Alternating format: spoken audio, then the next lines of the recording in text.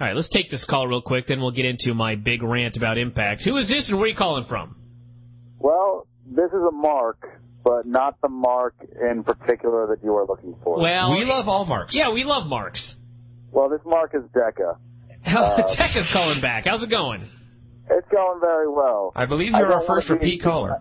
No, Oh, we've had some on the Daily that? Show. Okay, I'm sorry. Go ahead. Go ahead, Dekka. Okay. Um, I don't want to be accused, like Ed and the other person that we won't speak of, of calling into the show too often. So I just want to ask my question and bow out. All right. Uh, Vince Russo is set to appear on the TNA Spin Cycle this week, a program which I think I saw once. Um, I was wondering what your predictions are for Vince Russo's uh, behavior and what he will say during the show, and if he will bring up about how, if he could have made fun of Bertha Faye's weight, that he could have turned WCW around. That's entirely possible. I was going to say that I predict he will say he never wanted to appear on camera, but he had to. Sure. Oh, I get that. He, That he didn't want to appear on Spin Cycle, but he was forced. He was so, so was, yeah, he had no option. He had to come save the show. Well, Mr. Mr. Uh, Darablin, I I um I'm a little concerned because as I'm going to rant about here when we get talking about Impact, this show is getting more and more inside. I mean, we had an entire segment today about interviews in two newspapers in the UK that there is no earthly way that more than about 10% of the audience had even heard of. Not to mention the fact we had Foley coming on the air and, and dropping references to Vince McMahon yelling at him in his headset while he did commentary on SmackDown. Which again, if 10% of the people watching this show are aware of that, I would be stunned. So I'm I'm getting very concerned. We've got them talking about Jarrett being the founder. It's getting really, really inside, and I'm getting petrified that Russo's going to have some sort of role at some point, or I don't know. This spin cycle, I, I, I just get worried when I see everything else on Impact. It's back to the good old days of uh, Sid. Do you have your scissors? it is, it is, and The uh, other one that Bischoff had to say twice because the fans didn't react. Yeah, Yes. he, he said it and nobody reacted, and so he said it again, like, "Oh, maybe they haven't heard me." No, they heard you. They just didn't No, understand no. what the fuck you were talking about. So, all right, Deco. Well, we very much appreciate the call. Got to head back to the Impact review tonight, but thanks for being the uh, second uh, repeat caller here on the uh, Bryan and Vinny show. No problem. Have a good night, guys. All right, have a good night. See ya. That was uh, Deca Durablin, our uh, steroid. Speaking of, Our call in steroid, yes. speaking of, Not a steroid user, an actual roid. apparently there's the steroid testing in TNA is, is about to actually happen. Of course, as, as I noted many weeks back here on the show, they did steroid testing. A bunch of dudes failed, and they went up to the guys and they said, "You failed." And the guy said, "All right." That's the end of the That was story. it. That was the entire conversation. You know, and maybe there was some They- stuff in there about. They approached the roid users and said, "You're using steroids," and the guy said, "Sure." Well, there may have been some some discussion about tainted supplements and the like, that sort of deal. But anyway, the point is they're now supposedly really going to be testing. They're supposedly really going to be, um, you know, penalties. So I just cannot wait. Two, one of two things is going to happen. Either a number of the guys on the show are going to completely wither away, or nobody's going to wither away, and that will answer all of our questions about the TNA drug policy. One or the other is going to happen. I don't like to mention any names here, like Sheik Abdul Bashir, but everybody saw the man in WWE when he was a skinny, rail-like man, and now he is fucking gigantic. I believe JBL's exact line concerning this man was, "If we only put his brain in, in uh, uh, Muhammad Hassan's body, Yeah, they found a way. they did. They found a way. He is bigger, I believe, than Muhammad Hussein was during his peak. Close. So there you go, everybody. I didn't want to throw anybody's name out there, but I just I thought of that when I was watching his match and how how dramatically he is he has changed his physique. So the show opened with ODB and Angelina Love, and moments into this, Mike Tenay started talking about Angle and all of his comments in the Sun and the Daily Star, and he said it would be addressed tonight. And this was when Don West said that Kurt Angle had been sent to the UK to do a promotional tour, and then, quote, he said all those things. What things? I don't know. They didn't tell us.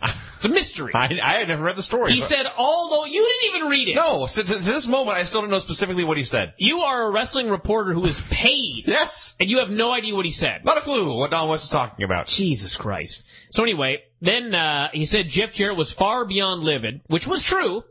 And he said if they, um, he said, um, actually that was all he said. Well, so anyway, they, they said other things not about pertaining to that particular discussion. Uh, they were talking about the pay-per-view. During this Angelina Love ODB match, they mentioned that the title match of the pay-per-view would, would be Taylor, Taylor Wilde defending her title against ODB and Roxxi in a three-way. yeah, Why? I don't know. Name me a single reason why Well, because you Not- need all the people you can on Bound for Glory. They the could just answer. make, they could just make the other one another lumberjack. No, They're doing lumberjacks anyway, aren't they? no, that's WWE Oh, ah, I got confused. Well, I couldn't figure out one reason why either of these women should get a shot, let alone both of them the same night. But then Don West explained it to me. He said he actually said Roxxi Laveaux earned a title shot by dressing up as Raisha Saeed last week and beating up Awesome Kong.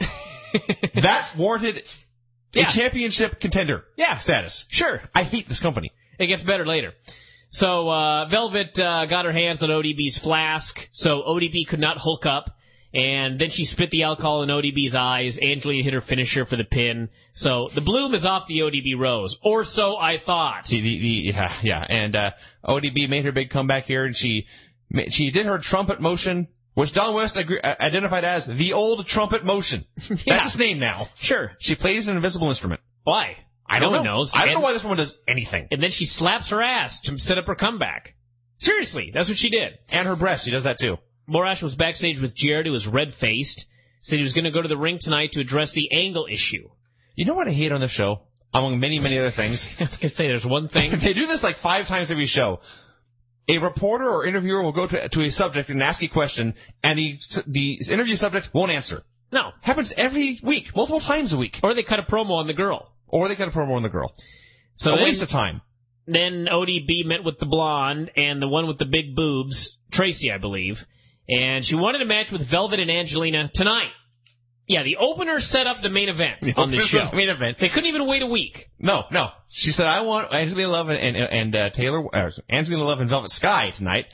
And Traci said, okay. So Traci now is no longer knockout law. Traci can also cancel segments in the show and book women's tag matches at will. Well, she's in charge of the women's division, essentially. Yeah, but this thing was not booked. So you would think, figure at some point something else was.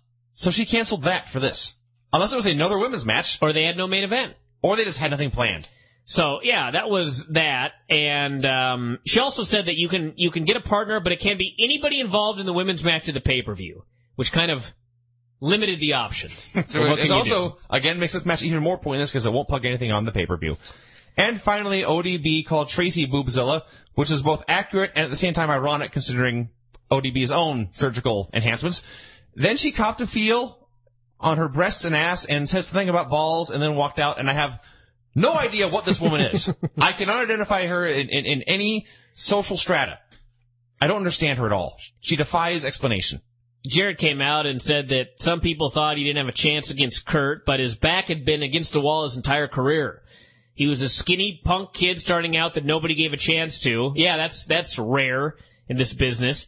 And he said that everybody thought that TNA was going to die, which of course he never mentions the fact that it was going to die until they found these investors. He also never mentioned that there's lots of skinny punk kids who don't make it in this business. They're not often the promoter's son. Yeah. So anyway, then he said that literally hundreds had gone in the grave trying to battle the big empire up north. Hundreds have died fighting Vince McMahon. Vi- the promoters have died left and right trying to beat Vince. Apparently, hundreds Hundreds gone to the grave. gone to the grave. So then he said that the company was never stronger than it was today, which is true.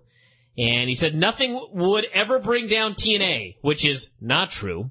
He said Kurt had aired some dirty laundry in the UK and then proceeded to read select quotes, such as Kurt saying he may leave next year depending on how he feels about the company. And Jeff Jarrett was appalled. And I thought, why are you appalled? Isn't every single person under contract going to make that exact same decision? He said he was going to consider his options. Isn't Christian going to consider his options? Isn't every single person under contract going to consider their options? someone. Isn't Jimmy Rave going to consider his options? Yes. Boy Everybody going to is consider going to consider their options. So anyway, then he then he read a part about how Kurt praised Vince, saying he had a father and son uh, bond, and Jarrett then claimed that um, once Angle figured out he had a match with Jarrett at the pay per view, he wanted out of the company. And I thought, where did he say that in the interview? I didn't see that anywhere. He said when his contract was up, he'd consider his options. What the fuck does that have to do with wanting to leave now?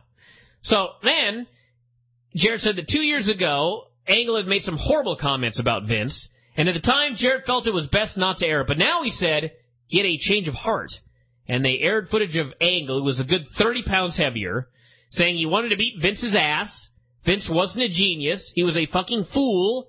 Called Vince all sorts of terrible things that were bleeped out. Said he was dead to him, and said in two years, Vince would be kissing his ass. Two years. That was a funny line, by the way. How coincidental. And then Jarrett said Angle had claimed that Jarrett could never break the father-son bond that he had with Vince. And then he said, well, Kurt, looks like I just did. This was so goddamn dumb. I'm gonna tell you why. Okay, do do so. There are many, many reasons why, why this was dumb. First off, it didn't sell a single pay-per-view buy. Not a single one. Number two, you probably pissed Kurt Angle off. You tried to go in there and and screw up what he thought was some sort of he's been talking nice things about Vince lately. And Jarrett aired this and Jarrett really did try to fuck that up. That's number two. Number three, you made your own company look so goddamn ghetto. That's the key. Because two years ago, Angle was hating Vince McMahon, and now two years later, instead of Vince kissing Kurt's ass, Kurt is kissing Vince's ass. Yes. What does that tell you about TNA? They suck.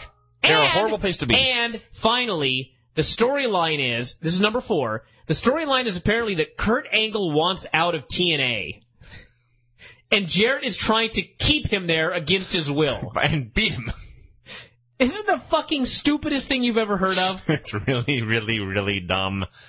The, the, the I don't know. I, and I, we can, we can top this off. People may be intrigued now. They may go look up this uh, UK Sun interview, and they may see the other horrible things Kurt Angle said about Jarrett. I, I, Sure. I, I understand. Yeah, that- they, they, I, they, plugged the article where he buried everything. I, I have not read the article, but I understand he said a lot more than what they put on here. yes. They air, they aired this this promo, and I actually thought it, it was just totally in character. Uh, it was two years ago, so Kurt may have been insane, but I just the whole line. The the perfect coincidence. In two years, you'll be kissing my ass. Not Yeah. three, not one, not five, two. Two. It just happened to work out that way. I suspect he cut that line about five times with different year numbers in there, and they just plugged in the one they wanted. Let's take a call very quickly. Who's this and where are you calling from? Hey guys, it's Chris in Ohio. Hey, what's going on? That'd be Kurt in Orlando. That'd be awesome. No. Not much. Glad to finally get in. I've been trying to call all night. Um, a couple things I wanted to mention. I first wanted to say that on Impact, um, I thought they mentioned WWE way too much. Oh, yeah. Oh God, yes. We're, there's more to come. Yes. I think it sounds really bush league when they do that, um, and it just makes them seem beneath WWE, which they are, but you don't want to make your product seem that way. It does, and they are, and that was so clear at some points in the show. Well, I And I don't know if you, you guys have heard this yet, but I wanted your thoughts on it. TNA just announced on their website that Steve Mongo McMichael Oh, yeah. will be refereeing the Monsters Ball match at What? the uh, Bound for Glory pay per view. Yes. No, I had not heard this. yes. And I was curious your thoughts on that because I think that is ridiculous.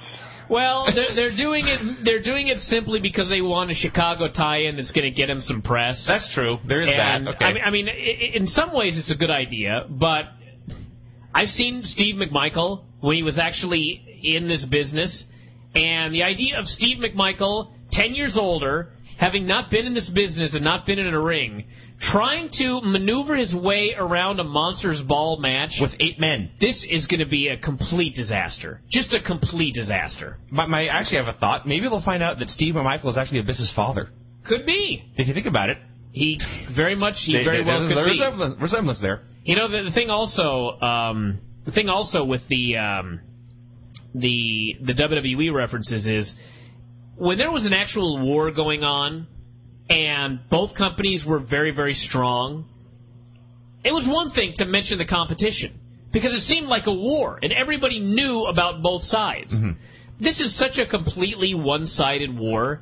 And WWE never mentions TNA ever, Uh, yeah, ever, ever, ever, ever, ever. I was thinking about this today. There, there's a promo uh, about two months ago now where JBL was yelling at CM Punk and he referenced a, a no-name indie, which I, I don't know why I was thinking about this today, but it occurred to me they ROH. didn't use the name Ring of Honor, Yeah, but they talked about them. they acknowledge that Ring of Honor existed. That means on WWE TV, Ring of Honor is a notch above TNA. I just thought it was interesting. That's all. So, so the the point is that I mean, it, when you've got two even companies is one thing, but you when you've got company one company that everyone knows is so much bigger that never acknowledges you, and then you've got the smaller company that's constantly acknowledging the bigger company, it comes off so low rent. Yeah, I, I totally agree. I, I think that's like with the Mac and PC thing. If you guys have ever seen those commercials, Oh yeah, I think that the Mac seems so low rent when they go out of their way to bash PC to no end. I just mm-hmm. I don't agree with that because Macs will never be. They may be better than PCs, but they'll never be up on that level, in my opinion. That's, that's, I think the Mac PC folks are like the TNA fans actually, compared oh, to your yeah. average wrestling fan. There- there are Very some- passionate. very passionate, particularly Mac users. Yes. It- it- it- the comparison doesn't quite work because they, they, they bash PCs, but then they explain what they do better. Whereas TNA has nothing they do better better than WWE, so that won't work. Yeah. I would say TNA is closer to Linux users in that they're just small and insignificant, but they think they're important. And Tony's gonna kick your ass He when he probably hears that. Anything else, Chris? No, that's it, man. Thanks a lot, guys. Hey, thanks very much for calling in. I very much appreciate it. Thanks. Bye bye. And let's get back to the show here. I can't believe you. Just, oh boy, Tony's gonna beat you. He may kill me. Then we had the Motor City Machine Guns against LAX in a qualifying match for Monsters Ball. There, there's one thing you're skipping here. They, they, they had a thousand twenty second segments on the show, and this is one of them. Kurt Angle walked in a half hour after the show started. Jerry Borash ran, ran up to him and said these exact words: "Thank God you're here." Oh, that's right. Yes. And even Kurt was befuddled as to why JB would be so excited. And Borash explained, said, uh, you know that video you cut two years ago when you first showed up here, burying Vince? And Angle was like, vaguely, yeah. And JB said, Jarrett just played it. And Kurt flipped out and had a cow and stormed off. Yeah, because he wants to leave, and they're trying to fuck it up. They're- they're fucking That's up when I first saw that. They're fucking up his job to get, his chance to get a better job with another company. So anyway, Motor City Machine Guns against LAX qualifying match for Monsters Ball. Initially, I was like, why the fuck would these guys even want to be in this weapons match? There's no good reason. well, there was later. Yeah, but the they didn't know that then. No, they didn't. They were just at the time, they were fighting for a chance to be in a weapons match for no reason. well, number one contenders match, wasn't it? I suppose there's that. I believe there was. Anyway, the point is, I love these two teams, but this was a very vanilla match. I totally agree. They, they, yeah. Um, th- there was a point where they got the heat on Homicide, and they worked them over, and it was fun. And there was a bunch of cool Motor City Machine Guns double teams, and then this spot where Sabin and Shelley bunked into each other and fell down, and Homicide just waltzed over, strolled over, tagged in Hum, uh, Hernandez. Hernandez walked in, and he made a comeback devoid of fire. You've never seen a big guy throw around smaller men with any less passion. Yeah. So anyway, the the big thing was afterwards when uh, LAX won. Sabin tried to springboard, got powerbomb for the pin. Anyway, Shelley flipped off LAX behind their backs, and Tony Tenay Tenay was like, "Well, there's the difference. He's doing it behind their backs. This is exactly what Sting was talking about." Yeah. I, okay. So if you So, flip if a you- man off to his face, That's respectful. I don't feel respected right now. at all. Literally, at all. But, uh, yes, but if, if you do it behind their back, then you're a weasel. And Yeah. they, they, they, they censored this. The first one, they did the normal, they digitized it, so you just saw a bunch of squares where Shelley's hand was. Then they cut to another shot that I just love, where they digitally erased his finger, so it mel- melted into the background. So it looked like he was just holding up his hand in the spot where his finger used to be. No, it's just he was holding up a fist. like, how dare you, I'll old fuckers? Because apparently those are the old guys now. Yeah, uh, Because that- they're young, disrespectful punks. That leads to this question of wh- why, if the feud is the young guys versus the old guys, w- would the disrespect be shown to LAX, who are younger than a lot of people on the show? they have because they're idiots. Because they, they, they don't think. No one in this company has a clue. So anyway, then they had the Cornette meeting with Angle, ripped him apart, and I love how the angle here, by the way, it gets even better. Of the four things that I mentioned, there's a fifth one. And that is, there is blatant outright censorship in TNA. Yeah. There is no freedom of speech. No. You cannot speak your mind in TNA or you will be fined $25,000. Cornette fine angle 25 grand for burying the company in a press. Yeah. That's the angle, everyone. There's an employee who hates working there and he thinks it sucks and he tells the truth and so they fine him. Yeah. They don't make any changes. No. No, they fine him. By the way, th- this is the third, uh, third part of one segment. They, they had a commercial after the machine guns match. They came back. They aired video, uh, they aired a video of the knockouts talking about Roxxi getting her head shaved. The L basically said, wow, that sucked. I'm glad I didn't almost win that match. And they talked about her bleeding and her her parents screaming at her and wanting her to quit. Then they ran into the pay-per-view. Then there was this bit here with Angle and Cornette. It was all within like three minutes, and then they went to commercial again. That was the whole bit. Yep. God. So then we had Sheik Bashir, Jimmy Rave, and Eric Young. Another third, fifth, there are all these little bits and pieces of the show. What did I miss here? They all, I don't blame you because they'll come flying by so quick. The suicide video. Uh, I don't even bother recapping Well, there, there, that. there's the key here because Suicide rambled on for 15 seconds about how he'd, uh, if there was a nuclear war, there'd be cockroaches in him, and he called himself a survivor. Your name is Suicide. By definition, you did not survive, and it's your own fault. That pissed me off. Sheik Bashir, Jimmy Rave, and Eric Young. Bashir won with the weapon of mass destruction. Think about that name for a while, everybody. they, they took out the, the airplanes in his music, and they, now there's, his name is his finisher is the WMD. Yes. so anyway, they teased problems with Bashir and Shane Sewell, the referee, afterwards, and I will forgive TNA for a lot if Shane Sewell is the next X Division champion. I uh, X Division champion should be all the champions. Well, He's yeah. my favorite guy in the company. he's pretty great. Jimmy Rave here hit La Mística, which uh, offended me. He stole Místico's finisher, which Don West identified as he's spinning around. I don't know what he calls it. yeah. And then he reminded us all that last week the Sheik took Samoa Joe to the limit. The limit. to the limit. It was all Joe could do to beat the Sheik. Yeah.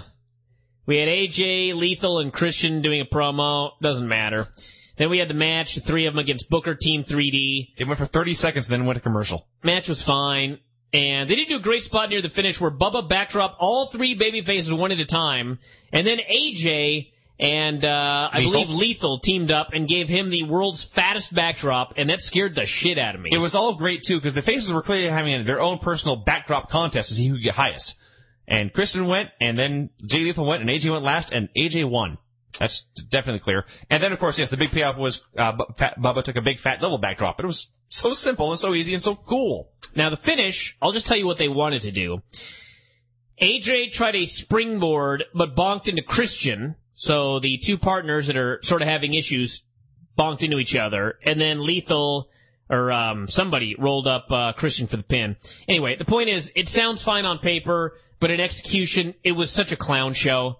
It was Oh, like something you'd see at an indie show. I can't even say that because you wouldn't see something that looked this hokey on Ring of Honor, for example. So There was were a five men mess. involved here, including Booker, Bubba, and the ref and the two faces, and the, you could see them all looking around at each other to make sure all five of them were in the perfect line for this spot to go off. It looked very, very hokey. And somewhere in here, while this was going on, Don West was shouting out about Booker T hitting somebody with a briefcase, and I actually still to this moment don't know what he was talking about. Oh, Booker's got a special. He's got the Money in the Bank briefcase. I And, think. and, and somebody got hit with it.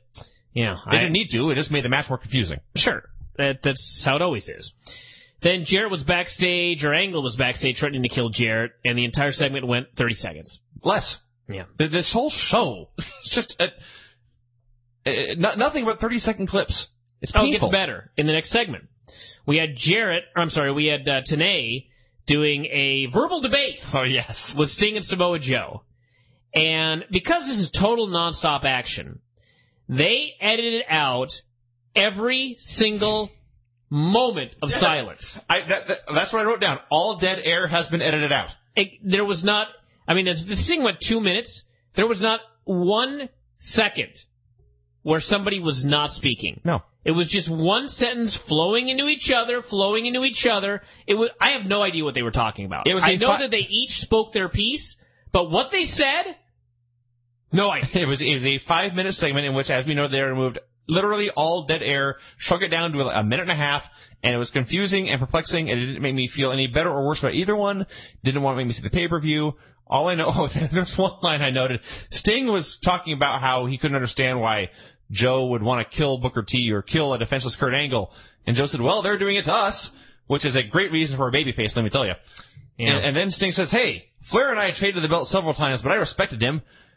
And I thought back, I, I could have sworn that a hundred times Ric Flair tried to send Sting to the hospital. and at least once succeeded. He was out for like six months. Yeah, well, Ric Flair and the Horseman kicked your ass, dude. then we had the blonde interviewing Abyss and Morgan, and the story is that Morgan is lying to him, telling him there will be no weapons in the weapons match, and Abyss said that his therapist told him that if he did good in this match, he'd be a top guy around here. And Abyss wants to be a top guy. So apparently Vince Russo on Spin Cycle is going to announce that he is Abyss's therapist. Sure. He's the only one who would tell him he'd be a top guy if he did good in the match. Who the fuck else would tell him that? I don't know. What the fuck would a business therapist know about booking TNA? Actually, more than the writers, but let's take a call here real quick. Who is this and where are you calling from? Hi, this is Rob from Indiana. Rob, what's going on? Oh, not a whole lot. I'm glad I got you guys while you were uh, talking about Impact because this was one of the worst shows I've ever seen, but not for the usual reasons. No, they found new and inventive ways to suck. They found innovative ways. This was the Tommy Dreamer of Impacts right here. And, uh, I mean, Dead Wife references that I don't think you've gotten to yet, but I'm sure there's a lot of more Oh, fun to there come are. with that. Oh, yes. Yes. And uh, I'll just start with the Monsters Ball. The promo that set up this match with the Dudleys, they said any team that wants in, they can join in, and now there's a match to decide one team to go in. Yeah. It's Yeah. a qualifier for the Dudley's Open Invitation match, right? Yeah. Yeah, that's ridiculous. But much like Tomko a couple of months ago, Glamour Boy Shane is easily the best part of TNA right now. We were just talking about that. He Oh, is, Shane Sewell. Yeah, he Okay. needs to be he needs to be the next X Division champion. That is absolutely correct, and uh, I agree that he should be every champion as well. That's right. That's that was Vinny's line. He is awesome. Yeah, did you see a lot of him in Puerto Rico? I've seen a couple of things he did in Puerto Rico, but I mean, I don't know once he starts wrestling and everything if he'll be, you know, that exciting. I do. But I mean, for now, There's no I, doubt I in my did mind. Like him in Puerto, I did like him in Puerto Rico, but TNA has this habit of every time someone gets over a couple of weeks, they kill it. Yeah. Well, there's that. Well, I think the thing he has that. going for him is he's he's he's obviously got a very different style, and Yeah. his comebacks are just so goddamn great, and I just can't see those not getting over. You know what I mean? Exactly. His comebacks are what professional wrestling comebacks should be. Yeah, they're they're, they're completely old school, perfect. I mean, I mean, if if you're a young guy that wants to learn how to be a wrestler and make a comeback, you should be watching Shane. Indeed. I am prepared to travel the country to Shane Sewell matches, going crazy for his comebacks and try to get people to follow me if that's what it takes. I will follow you, Vinny. I will follow you there. That's good. Oh, and yeah. uh, it al- also it it was just crazy. I mean, with the Mick Foley promo later on, and early in the show with Jeff Jarrett, they did as much time promoting Vince McMahon and WWE than they did their pay per view coming up in a few weeks. Yeah. Yeah, exactly. in, in fact, it's good because WWE didn't do much to promote their own pay per view, so thank God TNA did it for them. Hey, thank God Vince Russo is still working for WWE. Apparently, I mean, really. That's that's been the rumor, and, and I always shot it down. But sometimes you have to wonder with bullshit like this. But you can't deny it anymore, Brian. It's it's got to be true. now, how'd you like the uh, how'd you like the whole storyline with Angle, where apparently he wants out, and they're trying to foil it? Uh, it's so ridiculous to the point where I don't even know if that's the real Kurt Angle. I mean, this might be the second Kurt Angle. I mean, for all I know, the real Kurt Angle and Ultimate Warrior are somewhere in Italy, just you know, telling stories of the good old days. But I, this show with Kurt Angle and the UK Sun or whatever paper it was that Jeff Jarrett was reading, it's just stuff that doesn't No make knows. me want to watch TNA. I, I, I, we've been bat- battling with these same questions all show so far. Yeah, it's. I mean, I don't know if they're ever going to get it. Their ratings stay the same, and people like you and people out there like Dave, they they bring all this stuff up. They just they don't want to listen, and they're defiant to the fact. They're. It's like Vince Russo is going to keep doing it to try and prove somebody wrong, and after ten years, it's not proven anyone wrong yet. Well, it, it is. uh, Blame Russo. He's he's involved in this. You can hold him responsible. Don't forget, he doesn't own the company. He's not in charge. Yeah, There's a, there, there are just a lot of the people. brain trust. Yes. Yeah, and Jeff Jarrett had to give the okay to you know approve that uh, Jill Jarrett line. So I mean, there's a lot of blame on him Oh, we'll too. talk but- about that too. Yeah, there, there's plenty to blame Jarrett about as well. So, well, I want to thank you very much for the call. I very much appreciate it. I'm glad you were able to get through tonight, and and hopefully you can give us a call again. I'm sure I will. All right. Have a good night, guys. All right, thanks very much. I really appreciate it. Yeah, this show sucked. Glad everybody agrees. Appears to be the unanimous. All right, so then we had the blonde interviewing. Oh, we already talked about that one. Beer Money came out, and uh, this is the best part of the entire show. Robert Roode's get up. we start with Robert Roode. I don't know how to explain it exactly. Well, I, I just want to say, as far as Robert Roode goes, his gimmick is that he's rich, and he was wearing the cheapest suit I've ever seen. It was fabulous. then and and uh, James Storm was there. He had a special beer holding belt. Yeah. It was like Batman's utility belt with pockets everywhere, and he stuffed them with beer bottles. And if you look close, there were stickers in each pocket that read "I love beer." and then Jackie was out, and her breasts were everywhere. Yeah. And so James Storm slapped a dollar bill on them, so the camera had to focus on them. Sure. A great team, these guys. So anyway, they cut a promo burying everybody, and then Team 3D came out, then Abyss and Morgan, then LAX, and finally Cornette said, we're changing the three-way Monsters Ball, we're scratching the match. It's now four-way with the champions involved. So there you go. And I guess they edited out the line where uh, they said there was no competition in the world, and uh, without um, Without competition, they couldn't make money, and Robert Roode would be sad. Without money, they couldn't buy beer, and James Storm would be sad. So at least they took out one line burying the company this week. Although I don't know why they bother. Well, they should have left that in because it's entertaining. But but again, that, that- that's an example that they they only have two hours. They have to cut out lines and dialogue and and, and downtime. Beautiful people came out, and ODB announced that her partner was, I swear to God, Raka Khan. Now, No, I- seriously, who was it? I had heard that Raka Khan was going to be the partner, and I thought, boy, that should be bad. Little did I know. Raka Khan is the worst wrestler in North America. She made the worst comeback I have ever, ever seen in this match. And when I thought that it had reached rock bottom with that comeback, the heels attacked the baby faces after the match. Raka got the pin, by the way, with a uh, leg drop. And the baby fa- or the heels attacked the baby faces after the match. And I don't even know what Raka did. Because, She. hold on, It was the, hold on, hold Go on. ahead. All right. I can't say she didn't sell. But she didn't sell. But she didn't no sell. She got kicked, and her response was to not do anything. To not move. And she was not, this was not like Hulk Hogan and Sid, for example. That's, Ric Flair and Sid's a better example. It's not like Ric Flair and Sid, where Sid starts giving them the chops and, and Sid just pokes his chest out or whatever. This girl just had no idea what to do. And she just sat there with her arms by her sides, she was getting kicked in the belly, and then she got a little lower, and then she got a little lower, and then she sat on her ass, and that was the extent of her selling. This was bad. She is so much worse than anyone that has ever set foot into Layla Championship Wrestling I, yes, by leaps and leaps bounds and, miles. leaps and bounds. You fucking were Ric Flair next to this woman. Absolutely. Ab- I, you know, I was Flair and Dusty Rhodes at the same time. You may have been compared compared to Rocky visually for sure. Yeah, that's right, indeed. She, she was making this comeback, and usually when you see shitty wrestlers, they're content to do simple moves in a shitty manner. They'll throw bad punches or horrible f- forearms. This clumsy oaf was doing spin kicks and like jumping knee strikes. And she was doing these moves, and they cut to a close up of her, and you can see the fans in the background. They weren't cheering. They were not booing. They just sneered as if something foul had been placed before them, and they could just tell the reek of it. They sneered like something grotesque was was placed was placed before them, and indeed, Raka Khan's comeback was placed before them, and they were offended as they should have been.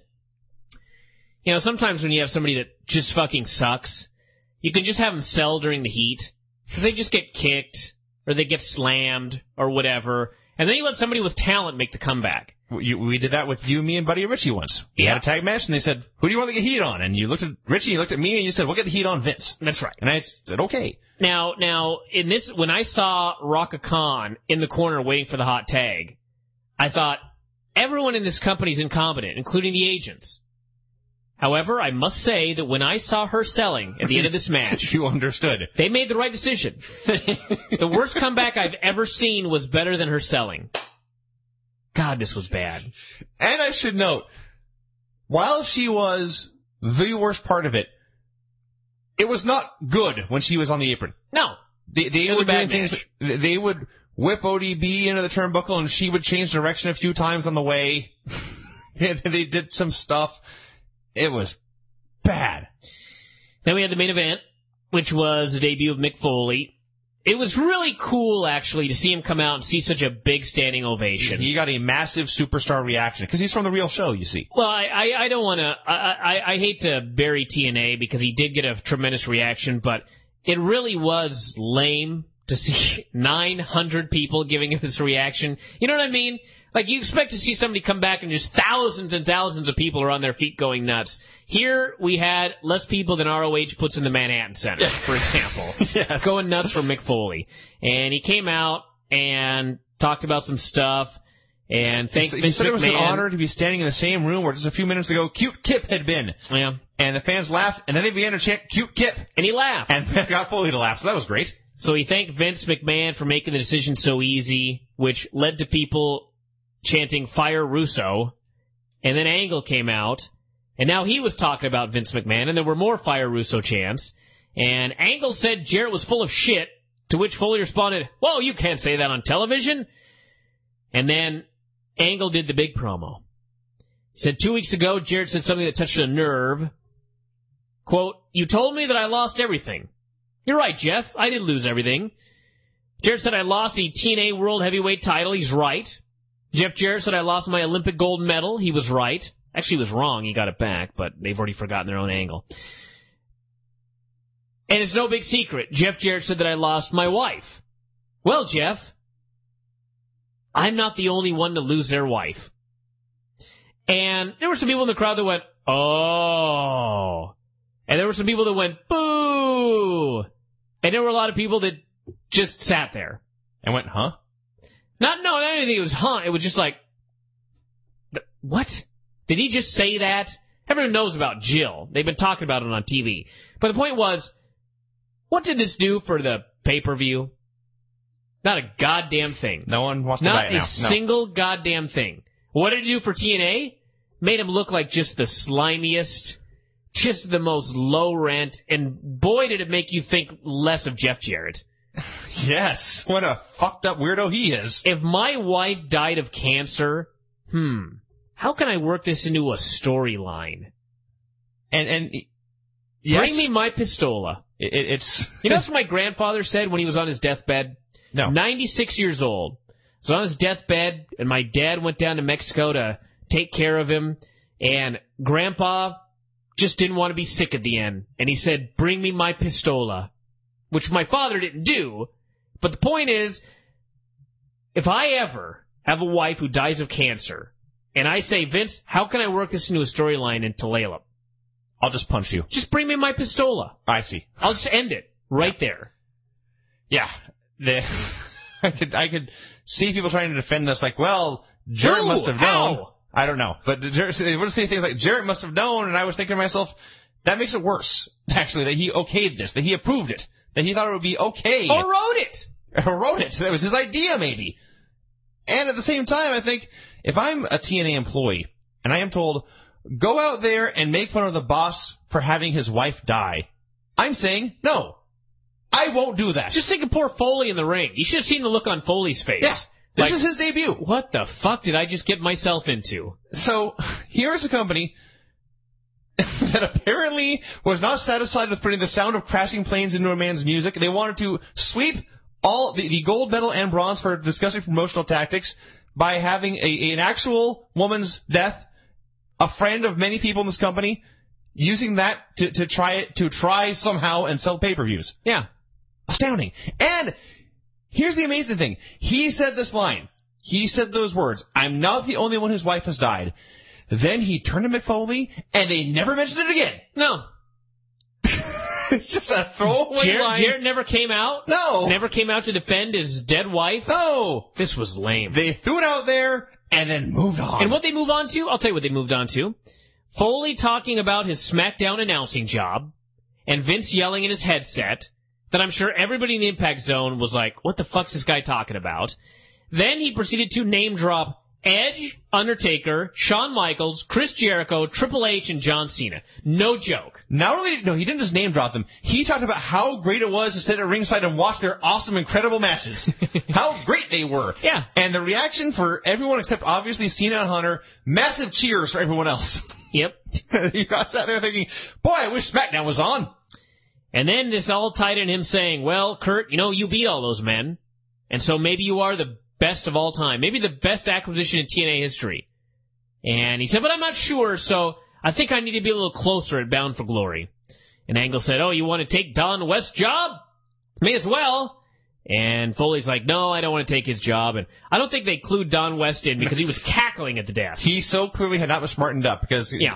Foley, he, he did a little tease like, I did not want to take Don West's job. And, and they cut to Don. I think Don feared for his employment. Now, I I think Don was just, uh, they, they mentioned that Don was, I think Foley said he's a little overzealous sometimes. And that's when Don was just cackling like, he knows he's a geek. He doesn't care. That's his job. He's a professional geek. So he was cackling about it. And anyway, it, it led, led to them announcing Foley as the special enforcer at ringside for Angle Jarrett.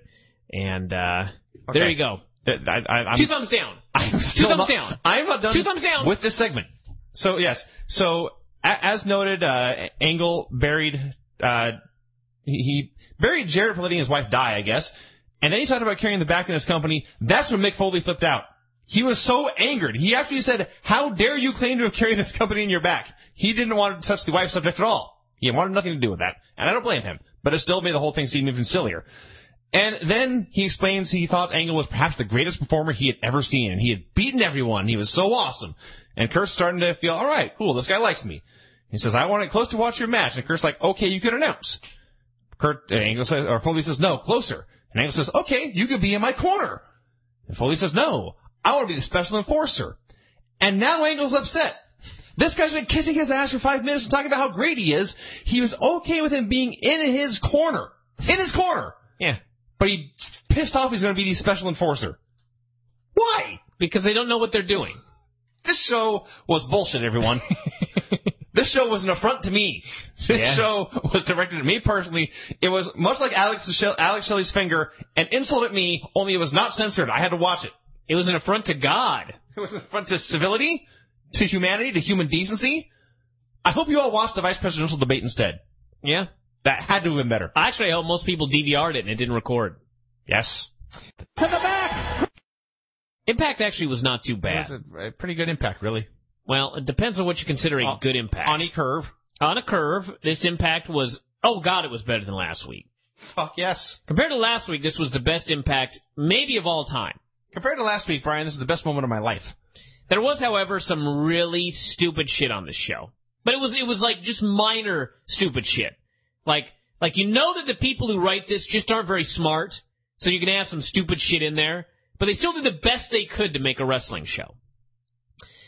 It opened up with Jarrett and Borash in the founder's office, and he said he knew in three days he had the biggest fight of his career. He hadn't wrestled in three years. Kurt was wrestling full time all around the world, so it wasn't business anymore. It was personal. He was gonna leave it all in the ring. And then Borash saw the gold medal, and Jarrett said, I have huge plans for tonight, which I guess we later discovered. Christian came out and said the rumor was he needed to pick a side in the battle. He said he was the champ, and he would pick a side when he wanted to. And this is nitpicking, but I don't care.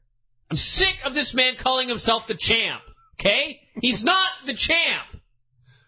See, that'd be He fun. hasn't been the champ in as long as I can remember. It's been a long time. What does that mean? I'm the champ. You're not. You are not the champ. Well, I would So stop say telling me that. I would say it was a great way to get heel heat, except I don't think he's supposed to be a heel. He's a as far as I can tell. So it's just confusing. So then out came Booker T, and he tried to talk Christian into getting on his side, and then uh, AJ came out and tried to get Christian to be on his side, and they are now claiming that Booker, I guess, is from another country, Africa, apparently. And uh, Cornette finally broke it up, and here's where we got the first real stupidity on this show. Cornette says, well, uh, we have time for one more match here tonight, and you guys are all doing a lot of ta- talking, and no one's backing it up, and so tonight it's Booker against AJ. And he said, Christian, I know that you don't have anything to do here, so you're gonna be the special guest referee. And, uh, He said tonight we would settle things once and for all and find out whose side Christian was on. Now, is it me or is Jim Cornette making the assumption that Christian is going to be a blatantly biased ref? Yes. Why else would you say that? If you assign a man to be a referee, and he's a good referee, and he's unbiased, then in the end, there's not going to be a side chosen. Right. No one is going to cross the line. No. You're just having a guy referee. Cornette was making the assumption that Christian would screw one man. That and he was was- a, he was a proponent of this. That's why he made the match. Correct. Christian, screw one of these men tonight. Right. That's stupid. Yes, he, he he wanted an official who would ruin the athletic contest, but at least then you would know which side he was on. Yeah. Yes. While that was stupid, I actually like this segment as a whole, simply because most things on TNA go way, way, way, way, way too fast. Meanwhile, a segment like this on Raw, where they open the show and everyone comes out and, and says their piece, would have taken like 15 minutes and gone way too long. This went as long as it needed to go. Went like four or five minutes tops. Each guy, Christian came out and said, I'm on no one's side. And Booker came out and said, be on my side. And AJ came out and said, no, be on my side. And they bickered for a bit. Cornette came out and made the match. And, and they went on. And I thought, wow, that went exactly as long as it should have gone. So way to go TNA. You actually timed something correctly, which may be a first. Sting did a promo and said this match with Joe at the pay-per-view would be the biggest match of his life. His Of life. his life. life. Well, hey, you know, they're building up Bound for Glory. Good for them. Said it wasn't about the title or anything. Uh, the entire reputation of Sting was on the line. And he said he was representing people all over the U.S. who had been disrespected. I'm taking a stand, he said. Now I ask you, is there a single person on this earth who has never in their life been disrespected? Well, me. really? I get disrespected every time you speak to me. No, so that's my point. So the answer is yes, there's no one. Yes. So he's fighting for everyone. The population of the globe is who Sting is fighting for. Good. He said losing was not an option. He did say that. We had Cute Kip against Rhino in a no DQ match. Velvet Shirt this week said OMG STFU. Awesome. She's so amazing, yes. She was plugging John Cena's finisher. That too. So anyway, Kip James, I, I don't even know if I can praise the man, but Give it a try. he's a minimalist. Yes, he, yeah. he was the exact uh, total nonstop action. I guess the the uh, antonym would be total nonstop inaction. Total nonstop stagnancy, stagnance. That was Kip James. You've never seen a man have less movement in a professional wrestling match until the comeback than this man did. Everybody just go watch this match until the comeback. Yes. Kurt, Kip James did almost literally nothing. I You could have taken a statue and had the same match. he I, he would do like a stomp and then slowly pace the ring for a bit and then drop a knee and then slowly pace the ring for a bit. And then it came time for the comeback when I was watching this thinking both these guys are two huge men who people don't really realize until they see it in person. And part of the, part of that is because Kip James, particularly when he's selling for a comeback, wrestles like a guy a hundred pounds smaller. He was running all over the place, taking big giant bumps and flip bumps off clotheslines and the, the, the, the, cue for the comeback was Kip James said, give me the bag. And they went to get the brown paper bag. And, uh, Kip was going to put it on Rhino and then Rhino fought back before he could. I wanted Kip to put the bag on Rhino and then Rhino just completely no-sell it. Like, it's just a bag. And then beat his ass. But instead he fought it off before the bag got put in his head. Sadly, that meant the bag was still in the ring, and I was certain as these guys were running around, someone was going to step in the bag and slip and blow out a knee. Thankfully, that didn't happen. And then by the end, they they uh, grabbed a table and brought it into the ring and set it up in a corner. And then Rhino got hairspray in the eyes, and Kip Gord, or excuse me, yes, Kip Gord Rhino through the table for the pin. At which point they said, "Hey, it's no DQ." It was news to me. Actually, they said at the beginning of the match. Did they? Okay. They did. This That's, was, that's was, your fault. it was fine. And then afterwards, the heels were going to beat on Rhino, but ODB and and Raka, she made the save. She apparently is So get this. a hero now. Get this. They saw Raka's match last week at the tapings, and they still went through with this six person. Live! Yes. Raka Khan live. Right. That's gonna be bad. no, it's gonna be great. Then we had consequences. Oh, we had Borash telling Angle he'd been in Jarrett's office, he saw his gold medal there. What's Jeff up to? Kurt asked. He said Jeff wasn't gonna sucker him in tonight, he was just gonna sit back and let Jeff make the first move. Speaking of moves, we're going to go to the phones. Who's this and where are you calling from? It is LG 1106 all the way from sunny Australia. My God, an Australian calling. Yes, you have quite a few. How about that? We had a we had a folk um, we had somebody from the UK today, and we had somebody from where were they? Quebec, and now yes, Australia. Yes. Wow, so, what's going on? Well, I'm the second one falling through. That's right. Yeah, what's happening? Um, nothing much. Sitting at my girlfriend's place eating Doritos. You're having far more fun than we are. What kind of Doritos? Well, you're reviewing Impact. What did you expect? That's right. You can't. Have you watched Impact or what, what's what's the Impact schedule over like in Australia?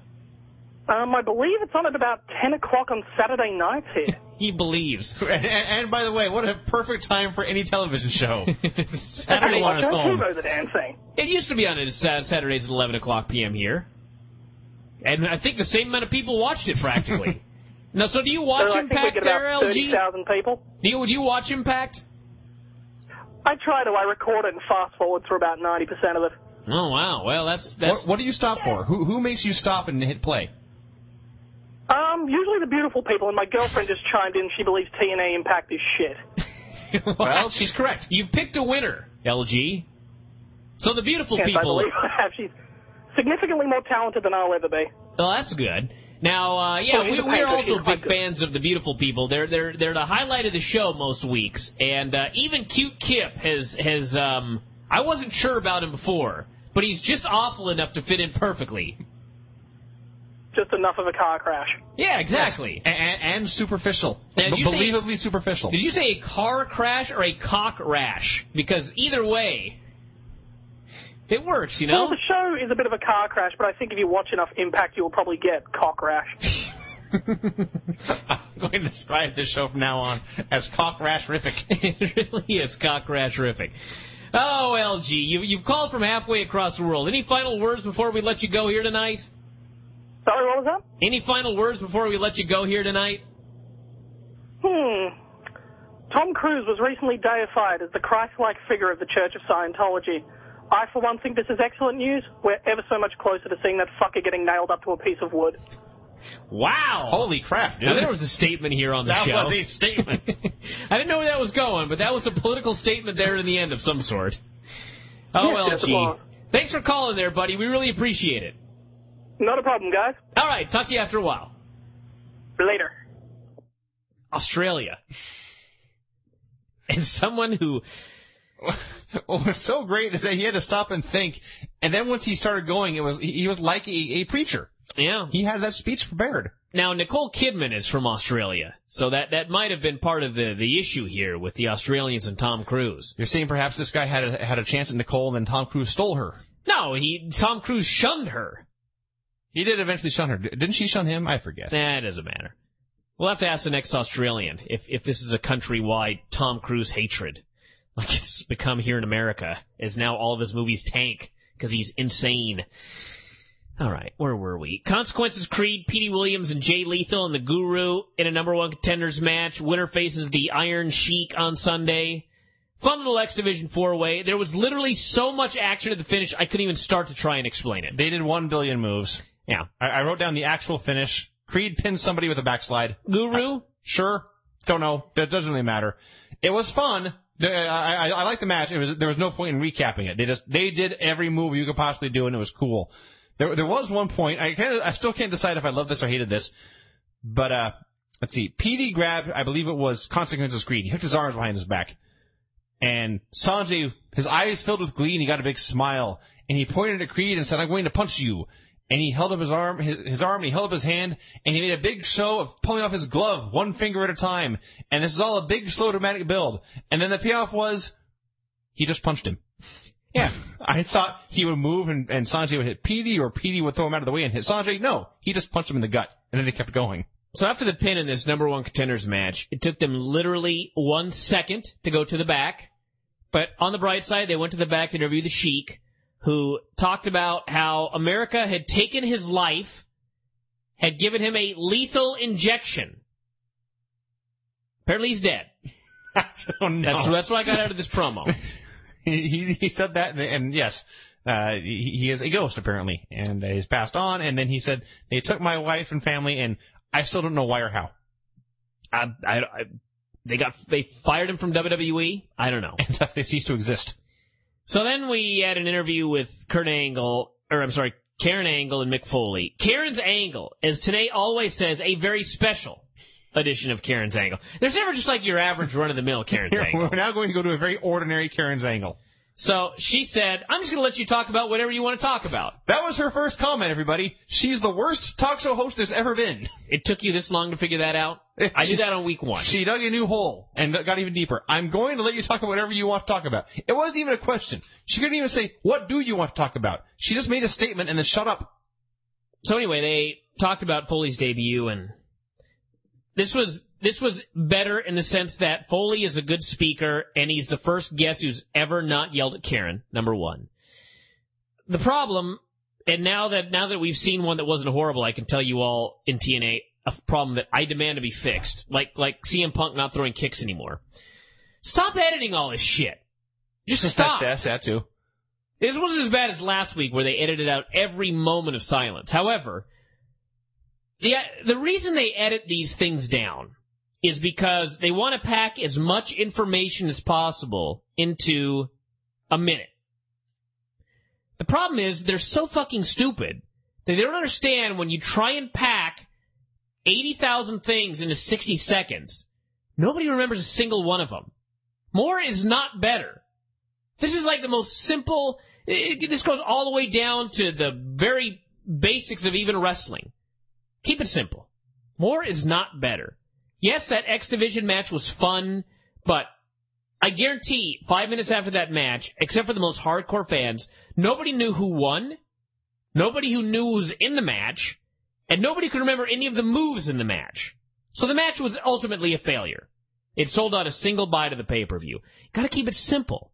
Foley talked about 8 million subjects. I have no earthly idea what he was talking about. I have no earthly idea. I think they had Joe and Sting last week. That was a big face-to-face, right? Yes, that. Don't that- remember a single thing they talked about. I just remember the horror of watching it. Not one thing. So just stop, TNA. Have everybody make two points in 60 seconds. Yeah. Give them 30 seconds to make one point with a lot of silence in there so we can go, hmm, Foley is going to do whatever the fuck he's going to do at the pay-per-view. What could that mean? Then Foley makes a second statement. You could go, let me comprehend that second statement. What could that mean for the pay-per-view on Sunday? Then people might be interested in your fucking pay-per-view. Think of all the great promos Mick Foley has cut. All, all, all, all the pay-per-views he has sold. All the asses he has put in seats. Just with, the, just with a microphone. And TNA decided they knew better than him how it should be paced. Sure, yeah. They thought he was too slow. Not to mention the fact that it hit me during this that Bound for Glory is Sunday. Yes. Number one, number one, when I heard there was a TNA pay-per-view Sunday, I was baffled. I didn't even know. I thought this was a weekend off. No, no, I was no. like, wait a second, there's a TNA pay-per-view this Sunday. yes. Then it hit me that this is their WrestleMania this Sunday. This is their biggest show of the year. wow. Well, I will say this. I have seen ads for this show on like every sports website I visited to. So they are they are trying to promote it hard. But the ad is just a little, you know, one inch banner thing at the top. It says TNA Bound for Glory, and there are a bunch of men in, in gangster suits. Yeah. what the hell? It's Iata all over again. So they plugged the pay-per-view. It was to the back. Rhino did a promo. Said he was going to gore the whore at the pay-per-view. What does that mean? Don't know. Practice a way to fuck them. Steve McMichael plugged his refereeing gig at Bound for Glory, which I laughed at. What a weird man. He's he, he's a kook, yes, but he he at one point he was describing the match itself, and he said it's anything goes. And then, so help me God, in the very next sentence, he said, "Don't think you can come in and do whatever you want." Yeah. what an amazing mind this guy has. Beer Money, Matt Morgan, Abyss in a non-title match, tag match. Team 3D did commentary. I did love when Bubba said that Mongo was a legit tough guy.